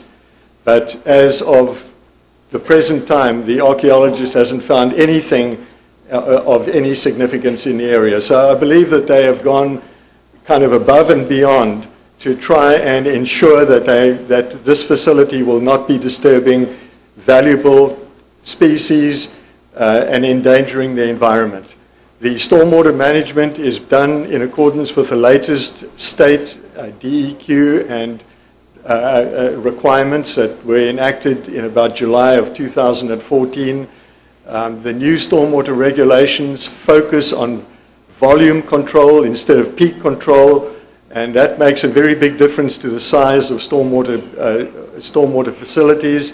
It also encourages more overland flow than used to be the case before. So there will be swales, there will be as much uh, pervious area as we can practically incorporate into a, situ- into a facility like that that is very heavy traffic, and, uh, but it will be done. We, we haven't gotten to the point where we've done construction drawings and detailed design, but we, we, we are setting up the, the facility to incorporate those features. So I believe that um, my client is, um, has been very environmentally um, conscious and responsive and We've still got to go through a, a, a full site plan uh, design review process that comes back to the county. Uh, VDOT has been involved in discussions and, uh, and other agencies. So um, if you have any questions, I think, I think I've covered all of the, the main points and um, I'd, I'd like to attempt to answer questions if you have any. Okay. So what we will do is go ahead and uh, finish the public hearing, and then board members may have concerns or questions And, and if so, we will address them at that time, okay? Thank you, sir. All right. Is there anyone else who would like to speak regarding this uh, rezoning? Is there anyone else who would like to speak regarding this rezoning? Finally, is there anyone else who would like to speak regarding this rezoning? Uh, It has to be someone different, ma'am, you've already spoke. If someone else would like to speak for you, Okay, seeing no one with the desire to speak, I will now close the public hearing. Board members have questions for the applicant? Okay. I'll go first and just with Okay, some questions, then that's I'll, fine. I'll pass. Um, was it Mr. Wilson? Yes. If you could give me a second. Um, Mrs. Wood spoke about the traffic study, and I understand, I'm very sympathetic with her with regards to VDOT, and I know VDOT will do things that aren't necessarily common sense. Um, So you have, uh, uh, or or you're going to address the traffic. Let me, let me ask about the other thing. She was at the Planning Commission, Yes, and she mentioned a cemetery that Yes. was in the back, and you said you are not going to disturb the cemetery? correct. Okay. Well, We have found out that the cemetery is on the Borden property, and it's in the portion of the property that's not being purchased. So it's, it's not within the footprint of this development. So that's not being purchased? Correct. So that'll be, It's further to the north. that'll be the next project, so right, right now it's Yes, sir. undisturbed? All right, so that's a, that's a good thing. Um, Now, with respect to the traffic concerns, in our preliminary packet, we have, uh, and I guess we took it off, but the original slide you showed, you're going to actually build another lane Yes, uh, to turn left into the property. yes, That left turn lane will then have a, an adjacent lane going the same, I guess, northern direction. That'll be undisturbed, so car traffic will continue to go while trucks wait to make a left. That is correct. There will be coming from the other way, a right turn in lane, so traffic should, for the most part, be minimally impacted, I guess I'll Yes. say. Okay. What guarantees do we have that the traffic uh, lanes will be constructed, as we've stated just now? Um, The traffic, they, the, the the development will be done in accordance with the drawing that you see in front of you, and that incorporates the widening of Coolwater Drive from the loop to the, to the entrance and slightly beyond, so to get uh, uh, uh, turn, turn lanes. And in addition to that, uh, we have to comply with VDOT site distance requirements. Right. In other words, we have to have a clear sight distance to the north of about 500 feet, and we've actually been there, taken photographs, and that is very doable. There will have to be some cutting of vegetation to, to give you good, to, to give you good sight distance at the, at this new intersection. There- There's, uh, the distance from the new in- intersection back to the loop is about 380 feet or something like that. It's not, so the sight distance will not be an issue, but there's not a lot of stacking room within Coolwater Drive for, if, if there should be a holdup on the loop. But the driveway from uh, Coolwater Drive back to the, to the warehouse, as you can see from the drawing, is a very long driveway. And that could accommodate a lot of trucks if they, if they had to queue up. So they wouldn't necessarily be waiting or, or queued up or in line on cool water, they'd actually be on your property while they're waiting to unload or load in either case. And, and one thing I'd, you know, I mean, I've, I've heard what the previous speaker said, and I'd certainly do uh, sympathize and, or, or empathize. I think that may, uh, that one of the things we could consider doing is, is striping um, the entrance from the residential area onto Coolwater Drive as being, you know, to keep the intersection clear. Cars and- only or something like that. Or something, or, or some kind of signage. Um, sh- I mean, that's not going to stop the occasional vehicle from stopping there during, you know, instead of leaving that intersection open, but I think it would help. Okay, and that's a big key. And then Mrs., um, Mrs. White, was it White or Wright? Mrs. Wright. Wright? Okay, I'm sorry, Ms. Wright. Uh, You, I think you, for the most part, addressed her environmental concerns. We've shown the resource-sensitive areas. They're not going to be disturbed. Correct. Um, She did mention something about green roofs and things of that nature. Was that in your plan? Um, Green roofs are, can be used in, under certain circumstances, but for a big warehouse like this, a green roof is not a practical solution there. But that is not the only way of controlling, um, of, of controlling runoff. There are other ways, and in, a- in a very large building like this, it's best to, to, um, to do it next to the paved areas, have um, grass-lined swales that will encourage infiltration into the soil instead of just piping as traditionally what you did was you, you piped from the downspout all the way to the detention pond. That's the way designs always were done. The new requirements are such that you are encouraged to disconnect the storm drains. In other words, the downspouts will get to, you have to worry about icing on the, on the, on the driveways, of course, but you will have the pipes crossing the road and then discharging into op- surface ditches and grass-lined swales. And they will run the length of the, dri- of the building, because those detention ponds, there are two of them, Yeah. are- that's a very, very large site. You're going to have very long open ditches and swales between where the pipes open up all the way down to the stormwater management facilities. Okay. So It sounds like you've addressed it, most, most of her concerns, um, and I, I just wanted to make sure, those Yeah. are the folks that I represent in particular, so I want to make sure that they're satisfied. Um, We have to actually get VDOT to come out and do another study, which has nothing to do with your project, and trust me, they did studies before about noise before the project was built, and then said that noise was an issue after the project was done. So we'll, we'll work on VDOT.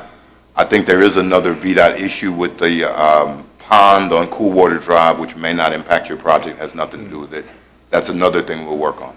Um, Last question, can you indulge me? Joburg or Cape Town? Port Elizabeth. Okay, thank you, sir. Okay, uh, No, no, no questions, Mr. Chairman. Mr. Underwood? I just have a couple questions for uh, Mr. Wilson, if you... Mr. Wilson, as the um, person representing McKenna, I know you guys have talked about level of, I'm sure, waste or uh, within the facility. Uh, Tell me, tell me about how you're going to move the waste or if product goes bad. Have you, You know, traditionally for these big distribution facilities, um, let's first of all talk about the, the clean packaging. Mhm. They would have compactors and, and, and a protocol for, for disposing of waste. I don't know exactly what they would be doing for product that goes bad or aging, but um, all I could, all I could say is, you know, Harris Teeter and Kroger, who owns Harris Teeter, have been around for a long time. Absolutely. And I'm sure that, you know, that's something we could follow up on during the site plan stage. But um, they are going to be good citizens, and, uh, and, you know, th- this is a very, very large investment for them, and then they- they're going to do it properly. Absolutely. Well, you know, like I said, as Ms. Wright said, with most of the county being on county water, that's something that we always want to talk about, is our, our water supply for, for our residents. Um, my second question is, the, the queue line that is going to be in front of the facility, how long, how, how far back is that, did you say that, that you could actually stack, if there was a, something going on on cool water on 207? How far back is the ingress to the property?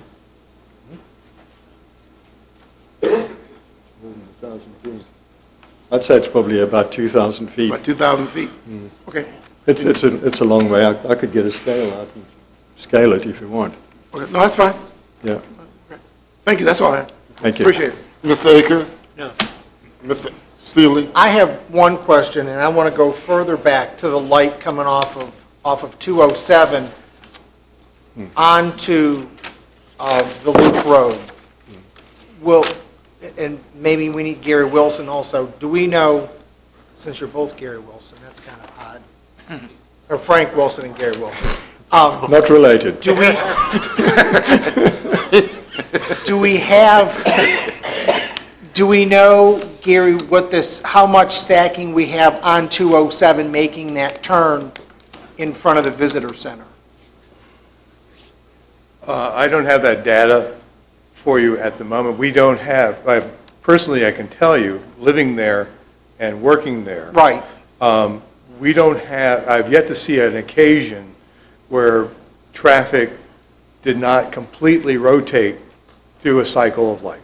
I understand that, I'm just saying, do we know what the amount of stacking we can do on 207, making that left turn into the road? I mean, we're worried about in front of the facility, I'm mm-hmm. coming a little bit further back. On the cool water. Mm-hmm. Yeah, Or- before oh cool water, on It's Elmont 207. Common Church Loop where the light is. Right, where the light is, in 652. front of the visitor center, you know, Yeah. going oh towards 95.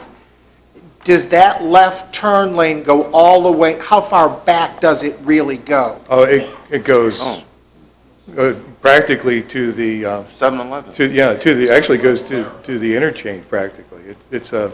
Yeah, it's, a- Long, it's two long left turn stack. lanes now. All the way from And that's what I didn't remember, was how Golden far Corral, back. from about Golden Corral all the way to the light. It's two left turn lanes. It's a very long stack. Uh, The number of trucks we're talking about, though it's it's significant, represents a very small percentage of the traffic that currently. No, I, I I understand that, that's why I'm curious what we can stack, because that's not the only facility that we, the trucks will use. I mean, there are left turns off of that before they get to where Harris Teeter will be, but, you know, they will be going into what used to be Left- Petro, left whatever. and- Left and right. Yeah. Going into Love's in the back. Right. So Yeah, I'm, the I'm same just lane. curious how, how- do we have 2,000 feet there?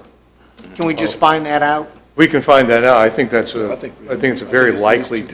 distance. It's 2,000 feet. But I, I would think that you have, you have a very long. Okay, I'm just, I don't remember how much is there. I Yes, sir. just, I, if we're talking about stacking, I'm looking all the way back to where we, because it's not on his, yeah, you won't. It you would be won't- the first map you had. The first map you have, pull up the first chart you have, Mr. Wilson, the the first drawing. Do you have The other another would be- drawing? You had another drawing, right? Where's the other drawing? Because I do have it in the, in the color, in- in our color version, I just can't tell, I mean, we have Oh, it, how big that is. but it's, it's hard to determine how far back that goes. Yeah, it's, It's, um, it's, well, it's two I lanes, just- so I know it's it's two, I at just- least a quarter mile per yeah, at lane. least. So that's another how did we get half a mile, which is 2,000 feet.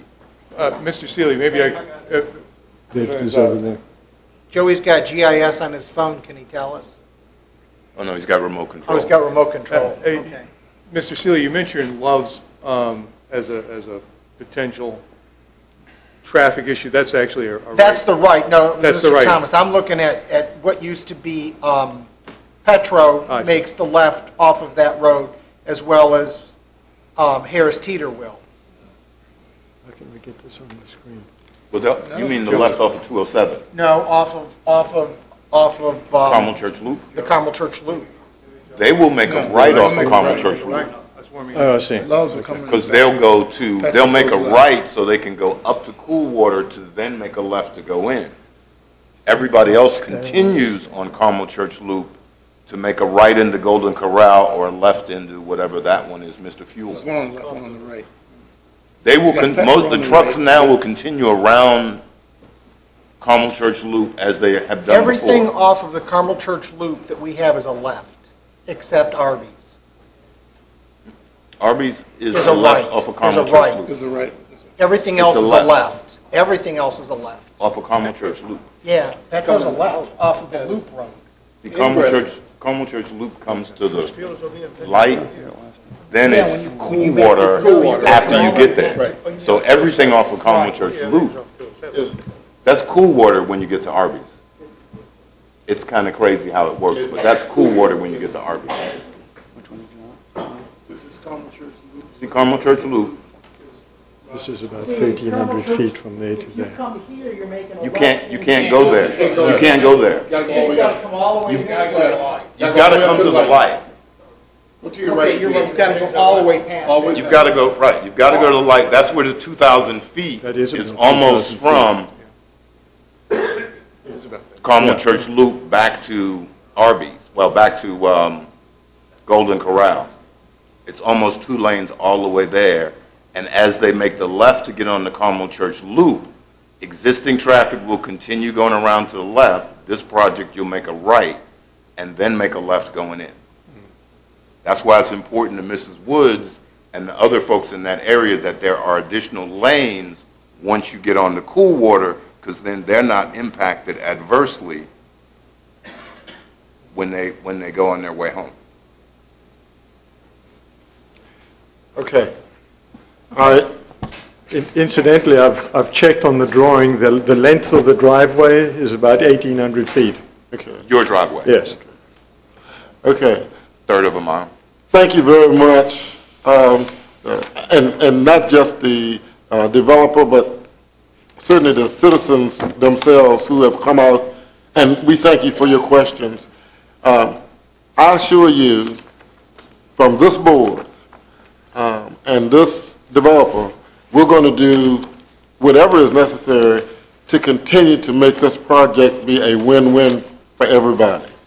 Um, When I found out that Harris Teeter was looking at this county, um, I did studies of my own. I, I went on the internet and I went different places to find out uh, what I could about the company. I can tell you uh, they are rated very high. In the communities where they are located, they are considered to be extremely good business people and an asset to the communities where they are located. And I believe that they're going to be the same for Caroline.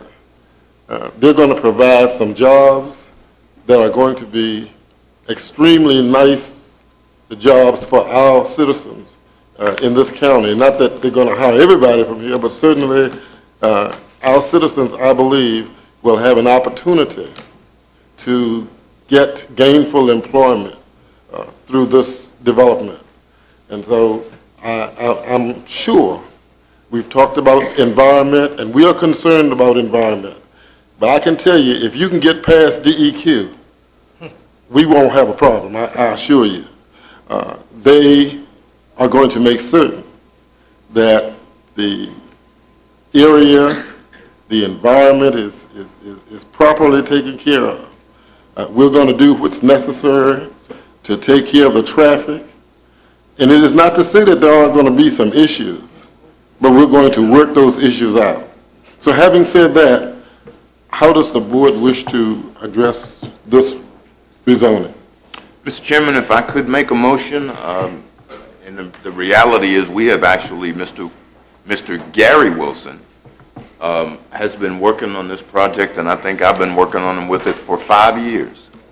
Um, We actually had this project several years ago, but the person that was in charge of the project passed away, and they started all over, and then Kroger purchased Harris Teeter, and we've finally gotten to the point here, and I, I, I respect Mrs. Woods, and I'm, I've asked to speak to her later, uh, um, to make sure we fix the traffic issues that, that, that may come up and, and try to catch as many of those ahead of time.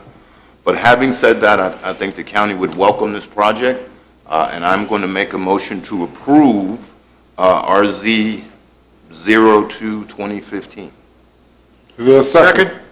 It's been moved and properly second that we would approve the rezoning for RZ 02 2015 as presented. All in favor, let it be known by saying aye. Aye. All opposed, motion carries unanimously.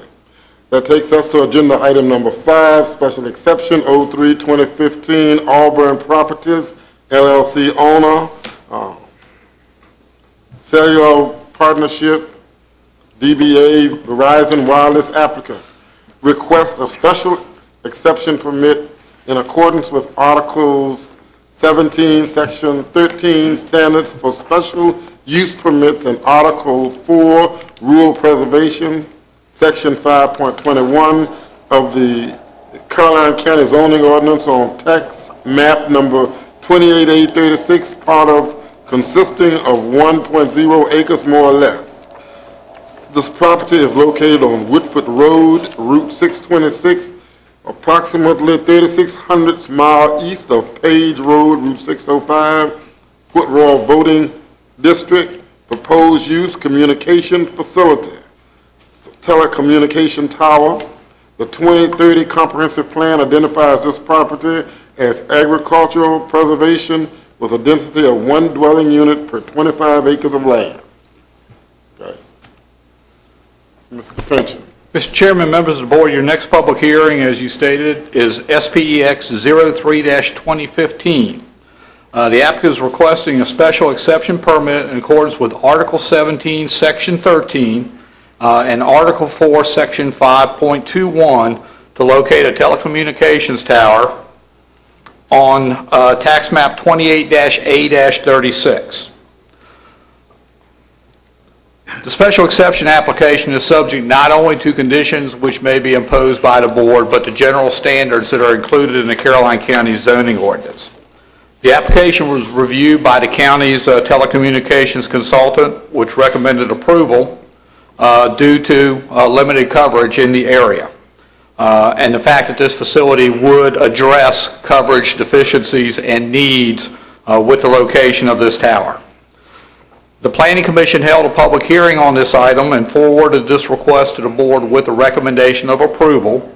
Uh, The review, uh, a- the agency uh, comments uh, relative to the review are included in your packet. Pursuant to the Planning Commission recommendation, uh, staff was requested to prepare um, a- an additional ordinance amendment, which is included as, as potential condition 19 for the board's consideration, to provide for the opportunity for uh, broadband uh, services, should they be provided by the county. Uh, After uh, discussion with the county attorney on, on several occasions related to this issue, uh, we actually have concerns about that condition. Uh, We have two competing sets of regulations. We have the Federal Telecommunications Act, I believe, of 1994, and we also have federal legislation uh, relating to rural broadband. Um, We are subject in terms of what we can review, approve, and accept by the Telecommunications Act. Um, And we have some concerns about the ability to require um, or uh, impose a condition related to uh, uh, providing broadband service. I have discussed that with the attorney for the applicant. Uh, The attorney uh, tonight has requested that uh, uh, the board not act on this application uh, to allow uh, staff uh, and the attorneys to, to look at that uh, condition um, and make sure that we are all on the same page uh, with that condition. With that, I'd recommend that you have the public hearing uh, on the matter. We close the hearing and defer action to your uh, November 12th meeting. Okay. Uh, Does board members have questions prior to the opening of the public hearing? If not, we will open the public hearing for special exception 03-2015 Auburn Properties LLC owner, uh, cellular partnership, DBA Verizon Wireless applicant. Is there anyone who would like to speak regarding this special exception?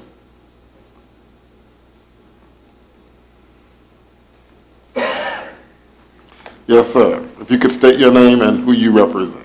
Will do, Mr. Chairman. Good evening. Members of the board, good evening. My name is Jeff Geiger, here on behalf of the applicant Verizon Wireless. As staff mentioned, Verizon Wireless is requesting a special special exception for a new wireless communications facility on Woodford Road, just east of Page Road. Verizon Wireless would like to use this new facility to bring high-speed, high-quality 4G LTE service to this area around this location. Verizon has demonstrated a lack of coverage in this area, and the county's consultant has recommended approval for this request. The new site has been des- designed to minimize its impact on the area while providing the 4G service that has become an integral part of our daily lives. The site will be constructed in compliance with your development standards for communication facilities, including the provision of four, a space for four users, including the county's emergency communication equipment. Verizon Wireless's request meets the standards for granting a special exception as set forth in our application. The design of this site has successfully completed technical review committee review and has received a unanimous recommendation of approval from the Planning Commission. Verizon Wireless was made aware of today of a new condition um, that staff was recommending uh, to you. My client needs additional time to review this condition and to meet with staff to discuss this condition. For this reason, I- on behalf of my client, I do request that you defer action on this item until your November board meeting to give us time to talk about this condition further. Thank you. Be glad to answer any questions. Thank you, sir. Is there anyone else who would like to speak regarding this special exception? Is there anyone else who would like to speak regarding this special exception? Is there anyone else who would like to speak regarding this special exception? Seeing no one with the desire to speak, I will close the public hearing. Uh, It has been requested that we defer action until our November meeting uh, such that the uh, applicant as well as staff can get together and uh, determine the best um, avenue to address the, uh, the issue. Okay, do you have a question? Okay, Mr. Seeley has a question. Mr. Geiger, I- Mr. Geiger, I have one question for you. Will this have any impact on the start schedule to build the tower? The delay?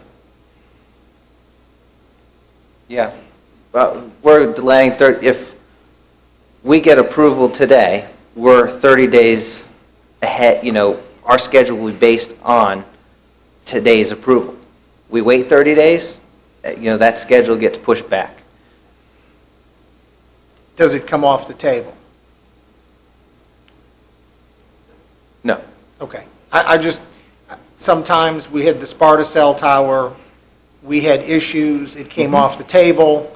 Um, it took us a year to get it back on and get it built, and I just don't want to be in the same situation for that area as well.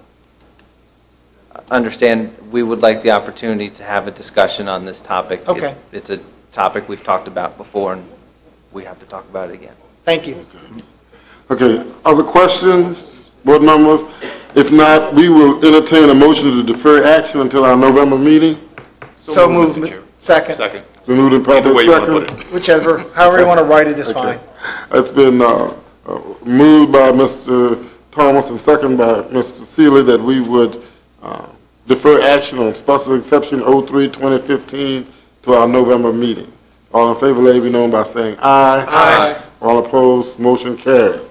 That takes us to agenda item number six, proposed amendment of Chapter 103, Taxation, Article 9, Section 10369, A4, exempt- exemption for elderly and disabled persons. Mr. Chairman, members of the board, as you're aware, the purpose of this public hearing is to consider amending the county's taxation ordinance, uh, specifically to provide a partial exemption for real estate and mobile homes owned by elderly and disabled persons. The ordinance establishes uh, an annual uh, income eligibility threshold uh, and the amount of the maximum tax exemption that is made available. The proposed amendment before you tonight would increase the maximum income allowance from $35,000 to $40,000 and increase the maximum total tax exemption available from 800 to $1,000. This is the uh, approach that Commissioner of the Revenue Sharon Carter has recommended, and she- as she believes it will uh, provide the greatest access to the tax relief uh, in the ordinance, uh, rather than some of the other options that were previously discussed. Mrs. Carter is here tonight to help answer any questions. With that, Mr. Chairman, I'll try to answer any questions you may have. Board members have questions prior to the opening of the public hearing. Ms. Carter, would you like to speak prior to the public hearing, or? Okay. Okay. Okay, um, we will now open the public hearing for the proposed amendment, Chapter 103, Taxation, Article 9, Section 103, 69A4, exemption for elderly and disabled persons. Is there anyone who would like to speak regarding this proposed amendment? Is there anyone who would like to speak regarding this proposed amendment? Is there anyone who would like to speak regarding this po- proposed amendment? Seeing no one with the desire or the intention to speak, I will close the public hearing at this time and uh, ask if board members have questions, either for Mrs. Carter. If, if not, we can entertain a, a motion. Mr. Chairman, I would, I would make a motion that uh, we increase uh, the maximum income allowance from 35 to 40,000 and increase the uh, maximum total tax exemption from 800 to 1,000. I think we've seen in, in a packet in past correspondence that this is pretty normal for other counties uh, our size and some of our neighboring counties. Um, I did not agree going to $1,500, uh, but I think that $1,000 is fair. It does expand the, the people that can participate in this program. And so uh, that's my motion, and if we get a second. Second. It's been moved and properly second that the proposed amendment uh, to Chapter 103, uh, Taxation, Article 9, uh, Section 10369A4, exemption for elderly and disabled persons be approved as presented. All in favor, let it be known by saying aye. Aye. All opposed, motion carries. That takes us to agenda item number seven, uh, continued discussion of possible county ownership for former Frog Level Volunteer Rescue Squad building. Okay. uh, Mr. Sheeval. Good evening, Mr. Chairman, members of the board. Good evening. Giving you an update on our progress uh, with the Frog Level Rescue property. Um, The county attorney has finished his investigation into the title search, uh, and and the county would have the authority to resell that facility once ownership has been taken. So that part's kind of been cleared up. The environmental phase one study that was completed, um, very detailed report on uh, that property, uh, we did find that there was a fuel tank in the back of the facility that was used for heating the building. Um, That tank is approximately 750 gallons. Uh, The cost to have that tank removed was $1,800. Uh, There is a fuel program that's out there that we can tap into. We would have to pay $500 of that, and the rest would be paid through that fund. Uh, At the front of the building, we did excavate for, uh, looking for ground storage tanks and the possibility thereof. Um, There was some uh, testing that was done that kind of indicated anomaly in that parking lot area that we needed to investigate. Um, They thought possibly there were tanks in the ground. Uh, We did excavate, uh, found the lines that went to the tank, but the tanks were removed in the front of the building. That kind of brings us to a a quandary. Uh, The current fund that's out there, um, since the property owner had changed, we would have to move the tanks if they were there, and then the fund would then cover any groundwater remediation. Because the tanks were already previously removed and there's no records of them being removed, uh, it kind of puts us in an area that we need to be cautious because the fund might not cover this because the tanks were not removed, that was not recorded appropriately. Really, what it comes down to is having to do a, what's called an environmental phase two, where they'll drill two wells, do soil sampling, uh, and also drill a uh, groundwater monitoring well and take sampling from that and see what levels of contamination are in the ground. There was a smell of gasoline during the excavation, so we know there's some kind of a release, especially knowing that 30 years ago that, that facility was in operation and, and has been closed as a gas station that long. So there is definitely contamination. The good thing is that ground, uh, the, the ground itself, the soil is very poor and it holds everything. Uh, as we were excavating in the rear of the building, um, you could see the oil was basically held within the soil and didn't actually absorb into the soil. Um, the soil is just, uh, it's more like a blue uh, marl clay, and it just holds everything. And because it was there, it didn't absorb into the ground as far as we can tell. So in order for us really to move forward, we would need to look at doing a phase two at the cost of $5,600. Um, and again, that would provide us with the soil sampling, water sampling. Once we know what the levels of contamination are, we would know if there has to be any groundwater remediation. Uh, once we do that sampling, we do have the responsibility to report that to DEQ um, so that if the county did not take ownership, the current owners would be required to do any remediation that's there once we know there's a contamination um, that needs to be cleaned. So it would have to be cleaned by somebody if there is an issue there. Um, We would have to, once we do the Phase 2, we could then go to DEQ and ask them to look at this on a case-by-case basis. The good thing that helps us is, is the existing gas pump island is still there, the existing lines are still there, the vent that goes from the tanks, where the tanks used to be, are still on the building. So all that's evidence that there used to be tanks in the ground, uh, and we may be able to get that covered. However, that's a gray area, uh, and it's not cut and dry as it normally be if there were tanks in the ground. Normally, if there were tanks in the ground, the property owner would have to remove those, and then if there was any contamination, that fund would cover anything. Um, So at this point, it- it- staff would like direction from the board as to how you would like us to proceed. Okay. Board members have uh, additional questions for Mr. Shebel or, okay, Mr. Black? I just have, I mean, you had mentioned briefly in, uh, when you started off, you said, because it says here, however, it still needs to be determined whether Union Bank and Trust loan taken by Frog Level uh, Volunteer Rescue Squad some time ago has been paid off. Uh, So the deed of trust um, securing it can be released. You said that issue has been cleared up?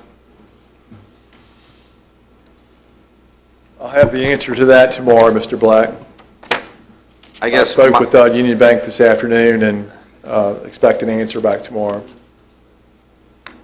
Okay, I guess my concern is, I mean, that, that, to me, is something that we should probably be addressing first before we are addressing the, I don't want to pay for an environmental study if, the if this is not, in you you see where I'm, you see where I'm going with this, correct? Yes, sir. Yes, I mean, that, so that's my concern, Mr. Chairman.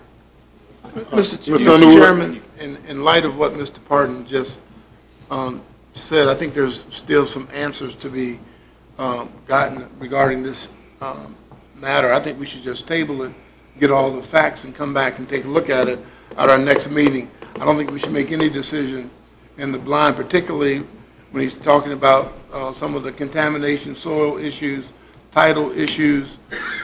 I, I think it's getting a little too deep right now. So I think we need to kind of back away, come back, let the research be done, let the report come back to us in November, and then we can discuss it and be educated. Okay, other, other questions or concerns? Seems to be the con- uh, consensus of the board that, that we would allow Mr. Shebel to continue investigating and certainly get answers to Mr. Black's concern as well as other board members' concerns. And then we will, so we will table it until such time when that information has been furnished. Thank you. Thank you. Mr. Mr. Chairman, do I need to make a motion to that effect, or are we okay on that? Uh, well, I guess we Is there could, just, just make a motion just to make sure. Mr. Chairman, I make a motion that we table the possible uh, taking of ownership of Frog Level, the former Frog Level Volunteer uh, Rescue Squad until our next board meeting in November. Second. We moved in properly second that we would table the ownership of the Frog Level Volunteer Fire Department until our, our November meeting. All in favor, let it be known by saying aye. Aye. All opposed, motion carries. That takes us to agenda item number 10, which is the first reading of uh, text amendment 0515, repeal and replace definition of rural, commercial, recreational use dorm rooms. Okay, Mr. Fincham. Mr. Chairman, members of the board, uh, it's back. Um, This is the rural commercial recreational amendment that the board uh, looked at uh, some months back and declined to uh, refer the amendment to the planning commission. Uh, Subsequent to um, the board's decision, uh, the applicant approached the planning commission, prepared some additional information for consideration, uh, and requested the planning commission uh, to consider a text amendment, which the commission did and has forwarded the recommendation to amend the definition of a rural commercial recreational facility uh, to allow uh, dormitory facilities. The amendment would not automatically allow such a facilities. Uh, An applicant would still have to come and go through the special exception permit process uh, and be reviewed uh, by the planning commission with the ultimate decision uh, by the board of supervisors. Um, With that, this is the proposed first reading of said text amendment. The uh, board can continue the first reading. Uh, It could go forward with a public hearing, um, or the board could, could table the request. Okay. I guess the question I would have is, uh, the board members have questions or concerns about the definition. Um, Mr. Thomas? Chairman, if I may, um, would, um, Mr. Fincham, I'm not sure you know this, and Mrs. Carter left, but would dorm rooms, since they're probably going to be charged for, would they be part of the transient occupancy tax? Ms. Carter and I have discussed that, and we, we believe there may be a mechanism by which it would be subject to TOT. I think that issue needs to be vetted further. Uh, You will see that he's also potentially selling the site to a nonprofit. So I, I think there are some issues there that, that warrant additional discussion. In theory, yes, dormitories um, would qualify for TOT. Okay.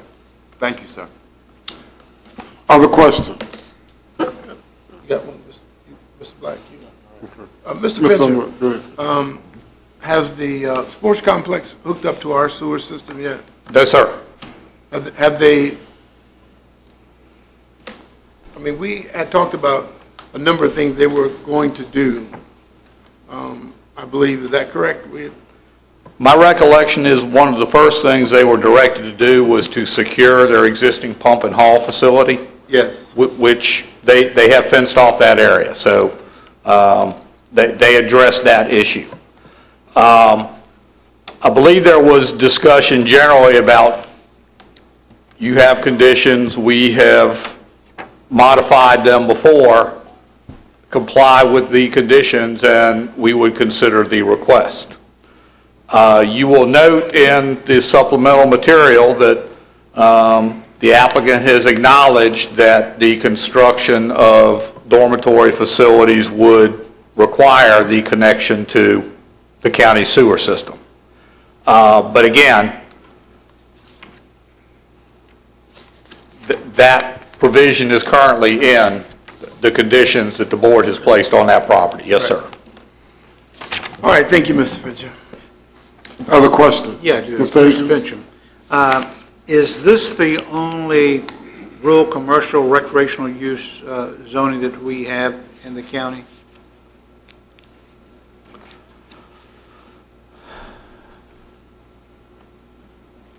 Would this be the I only place- believe there may be one more smaller one, Mr. Akers.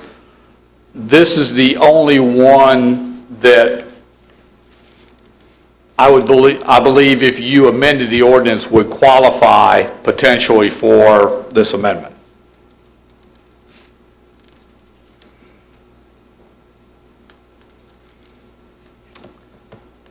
Okay. Other questions? How does the board wish to address?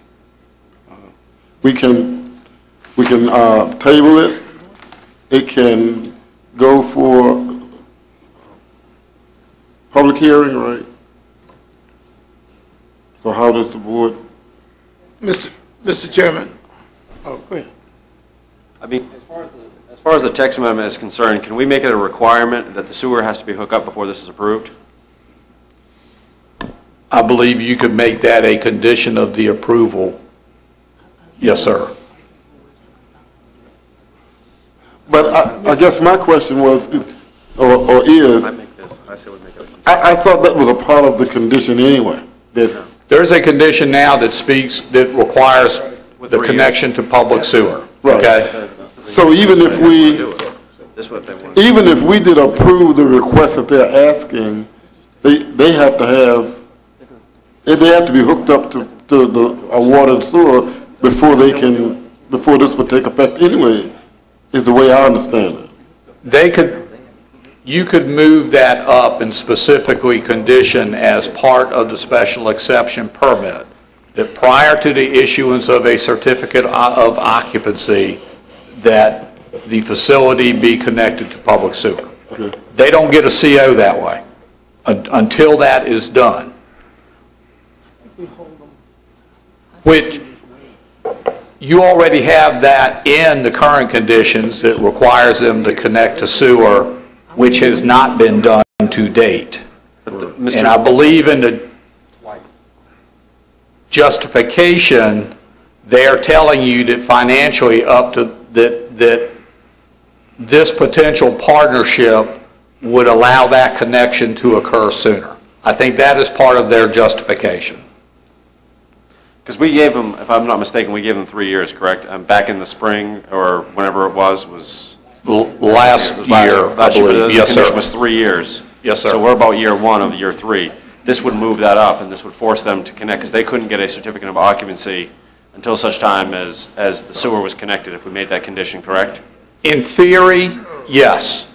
I would also suggest that there's a, there's a potential out there, what if the, the, a special, as an example, special exception permit is approved for a dormitory with a condition that says you have to connect to public sewer prior to the issuance of a certificate of occupancy, but those dorms may not be constructed for four or five years. You've actually then moved that connection further back, potentially, so we would need to be careful in crafting any modification to make sure it's two years or prior to the issuance of the sewer. Whichever days, yes, whichever Yeah. day is sooner. Yeah, we could do that. I think if you go forward, you want to preserve the fact that we're a year into the three years that the board previously uh, uh, granted or approved with the amendment. You want to be careful not to lose that. May I, Mr. Chairman? Mr. Thomas? Um, And, I- and I'm not sure this is, this is necessarily supposed to weigh in our decision, but, but my opinion, and I believe that the owner is trying to sell this facility. Putting the dorms helps him sell the facility. So if we, that's just the, the landscape as I see it. So if we approve the dorms, that means we'll probably have a new owner who'll do more, but we still don't want to change the connection to the county sewer, which was a condition originally that he was 18 months behind. We came back and allowed him another three years, so now he's got two years to do that, less than two. So that's where we are. If he just walks away from the facility, we lose a little bit of revenue, a lot of revenue. So we need to help facilitate this sale. Yeah, there's, there's money we get from this. Other questions? But if you wish to table it, that's fine. If, if we tabled this tonight, we could go to public hearing anytime with this, is that not true? We've, we've, we've done a reading, we know what we have. Um, The applicant's not here, correct? Is there anybody here for the applicant at all? Yes.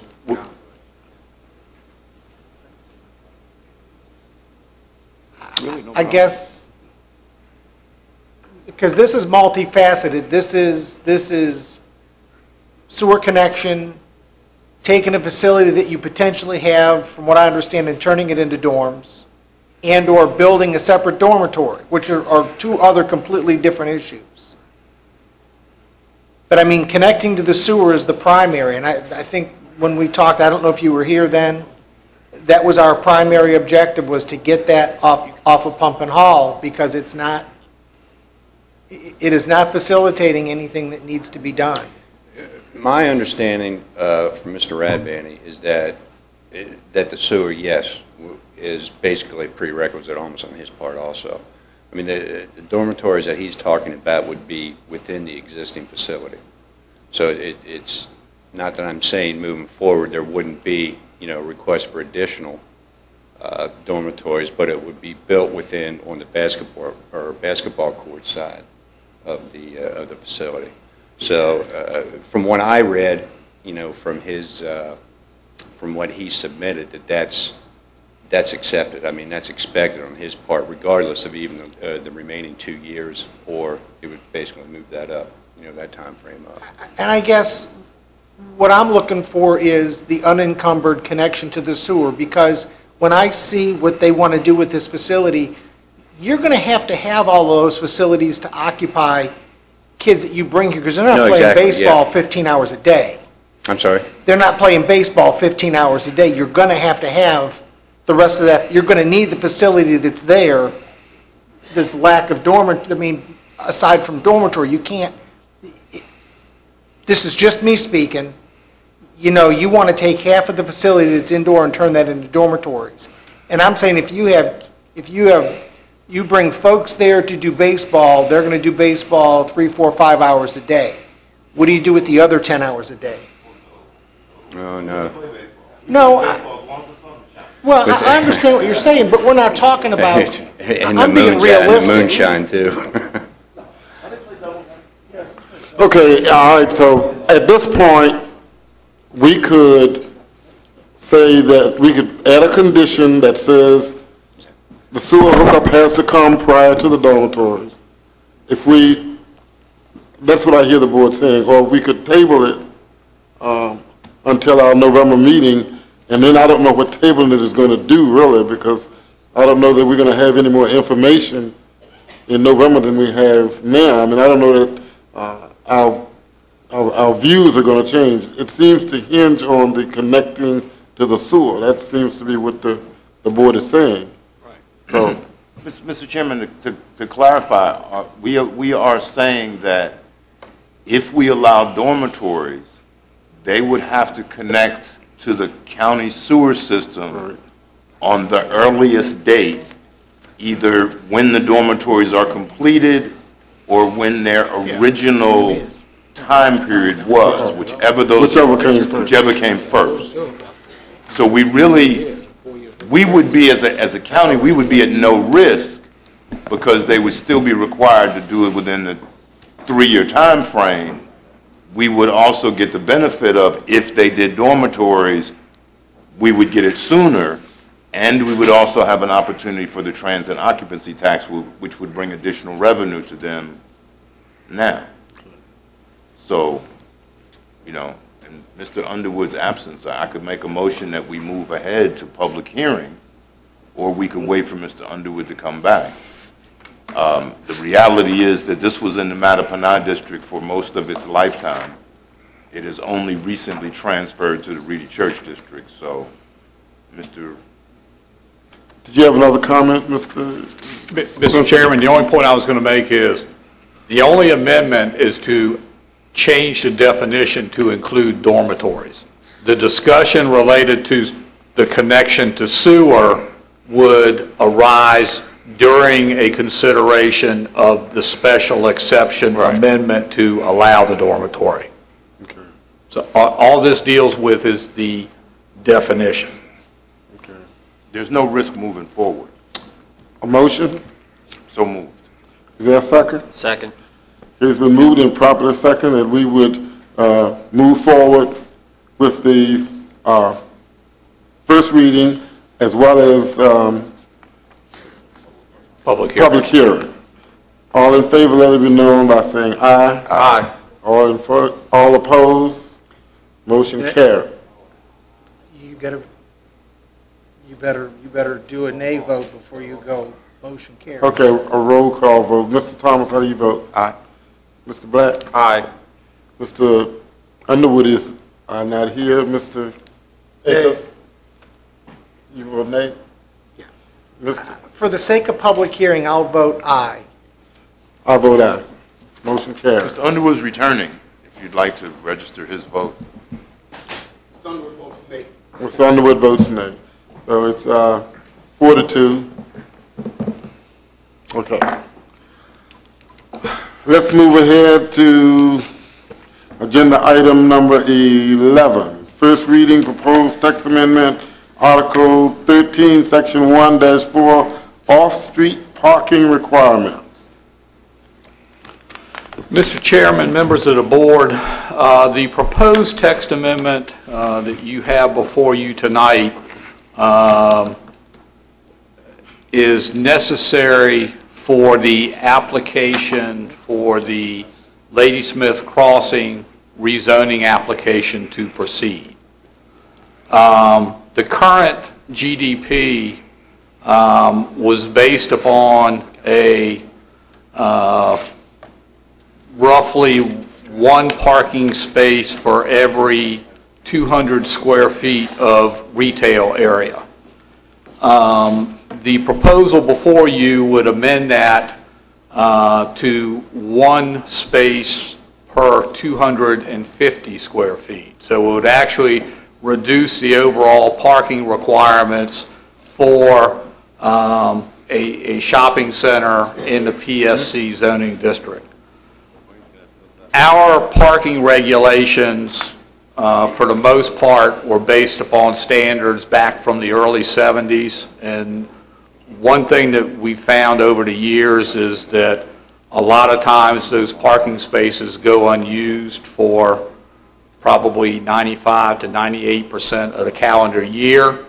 The heaviest usage in the parking areas tends to be uh, during that time between Thanksgiving and Christmas. And otherwise, it's a sea of vacant parking. Um, So this proposed text amendment uh, is consistent with the uh, general development plan that has been submitted with the rezoning request uh, and is comparable to uh, the parking standards from uh, some of the other jurisdictions we have surveyed for, for these larger types of developments. Okay. Questions, Mr. Seeley? Mr. Fincham, should we actually, in crafting this, I mean, if somebody built a 20 acre or, or has tw- a smaller facility, are we then just allowing for less parking? Should we put a size in this over a certain size? Because I do agree with you, parking gets um, underused, but when you, at what point do you need more than you, than we're going to have with this? Is there a, a point where a building size should be one per 200, and then a point where it should be one for 250? I think it really deals with use, and I'll give you an example. You would not want to reduce the parking requirements for a restaurant, Correct. okay? This does not do that. Okay. This is simply re- uh, uh, tied to uh, retail uh, floor area, retail, for the retail aspect. Does not cover, um, you know, convenience stores or restaurants or I guess things I like didn't- that. I didn't see the differentiation. Rental floor area to one per 250 for retail development. We actually have a, de- if you want to say develop, change development to business, okay? or- I guess or I'm not, I didn't use, understand what the difference was. um, We actually have a parking standard for retail sales. Okay. That's the one per 250, okay? So if you want to change that last sentence uh, for retail, instead of say retail development, say retail sales, I think that goes to that specific classification that we're looking at. And that, and that's, the only- I guess I didn't differentiate between the two, and I thought we were moving the whole thing. No, no, no, just retail. Okay. So I think development's fine, but if, if you want to, I'm not a planner, I'm just reading this, and I read this as, yeah, no, I, I think the restaurant is the perfect example of what you don't want to change. correct. Yes, sir. That's not, that's not done, accomplished with this Okay, text as long as amendment. that's not accomplished, I'm fine. Okay. So we need to send this to, to public hearing, or we, Yes. This, this request is also pending at the uh, Planning Commission for approval.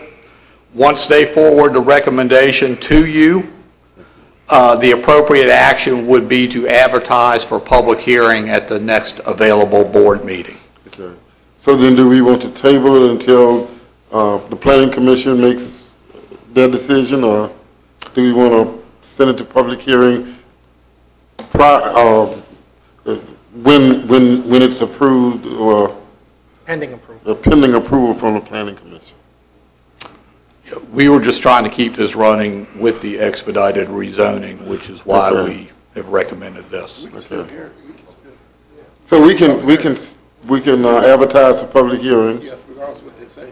Okay, but I was just saying, would it be appropriate to have, to have a public hearing prior to planning commission approving it? No, you can't do that. Right. The planning commission needs to make its recommendation to the So, board. so, so we have to say uh, pending approval from the planning commission. Well, commission? not necessarily approval, they could, they could recommend denial, Okay. as long as they take an action. Oh, Pending action from Or, the, or then, or they have to not take action for like Okay. 60 days, 90 days.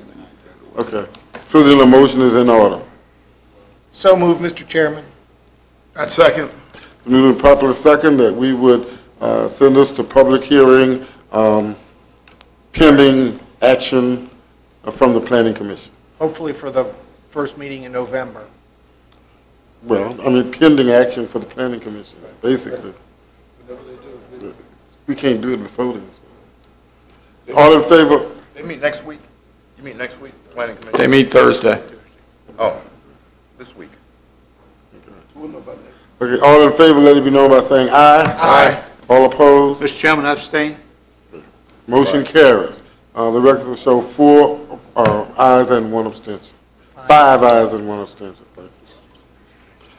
Okay, that takes us to discussion of adding Caroline County Visitor Center to the list of county facilities made available for rental by the public. Mr., I got it. Uh, Mr. Chairman, members of the board, Mr. Black had uh, received a a call from a a local church that was interested in in using the uh, visitor center for community outreach. It's included in your packet. And we realized we didn't really have any policy for use of that facility um, as a public facility, as this room and the EOC and uh, another uh, room down in the uh, other end of the building, you know, set policy, we rent them out, um, we charge for it, and, and that type of thing. Um, so we have it on uh, tonight to, to discuss. I mean, obviously, uh, we have a few things that you know, we feel are important. Uh, being that it's a visitor center, we don't think that you would be able to really rent that out during the day. It would be a conflict in there with the general public wandering in and out and whatever, somebody's trying to have a birthday party. Um, and so uh, we think it would be in the off hours. Um, clearly, there needs to be somebody present, as we have in this facility when we rent it out. So there is going to be a cost. There's not, it's not like whoever's here can suddenly be there if this is rented. So we may end up having to, to put on some other part-time staff to be able to do it. So my thoughts are maybe uh, as, a- as a trial period, you, you pick, you know, hey, we'll do it Friday, Saturday night, or Friday, Saturday, Sunday night, you know, come up with a, I don't know that you necessarily need it seven days a week yet, um, or, or or a few night, you know, a Tuesday night, you know, come up with something that, uh, that would, would give some limited use of the facility in that area that would be beneficial not only to this church, but some other folks that may, may have a, a use of that uh, at night. But um, I think if you want to have it all the time, it's, it's going to certainly be a cost to, to provide that service. Could we get staff to come up with a policy? Clearly. Um, and bring that back, and then we would decide on it at that time? Be glad to. Okay. All right. That's the consensus of the board. I don't think we need a motion for that. Okay, that takes us to informational calendar items. Um, get my next piece up. We have obviously been brought up, we have the Fall Festival in Bowling Green this weekend. Um, the, uh, 21st, we have the regional elected officials meeting, and uh, Mr. Black is going to attend that. The 22nd, Mr. Akers, community meeting, Ladysmith Library. Uh, the Key date, the 27th, we have the RACSB legislative get-together at their building over across from the, and you don't want to forget that. You you want to forget that. got that, too. Um, Mr. Seeley has a community meeting on the 29th along with Mr. Akers. Um, And then Frog Level has their uh, Halloween festival, uh, Frog Level Day, uh, the 31st. The VACO annual conference starts on uh, the 6th and runs through the 10th. Uh, Veterans Day is the 11th, county office is closed. Board meeting on the 12th, so I've already moved us all way to the next board meeting. Um, And uh, then we have a, a meeting on the 24th. I will uh, be in Florida, so Mr. Parton will be subbing for me. It's Okay with the folks? All right. That'll be, a that'll be a long evening, Mr. Parton. You'll pile up the agenda. Everything I don't want to deal with. Okay, that takes us to closing board comments. Mis- You have any closing board comments? Uh, Well, Mr. Chairman, this is probably our last board meeting. This is our last be- board meeting before the election, so I wish uh, everyone good luck. Thank you. Mr. Black? No, Mr. Chairman, not this time, thank you. I wish you good luck, Mr. Black, in the election. Unless it's a major write-in candidate. Mr. Underwood? No, sir, Mr. Chairman. Mr. Akers? No, sir. No, sir, Mr. Chairman. And I have none either. I would also like to wish all the board members good luck as well. Okay, that takes us to our closed meeting. Um, um, I- Mr. Chairman, I move that the board convene in closed meeting pursuant to the Personnel Exemption Section of 2.2-311A1 of the Code of Virginia, to discuss a personnel matter involving a performance of a county employee. Okay, is there a second?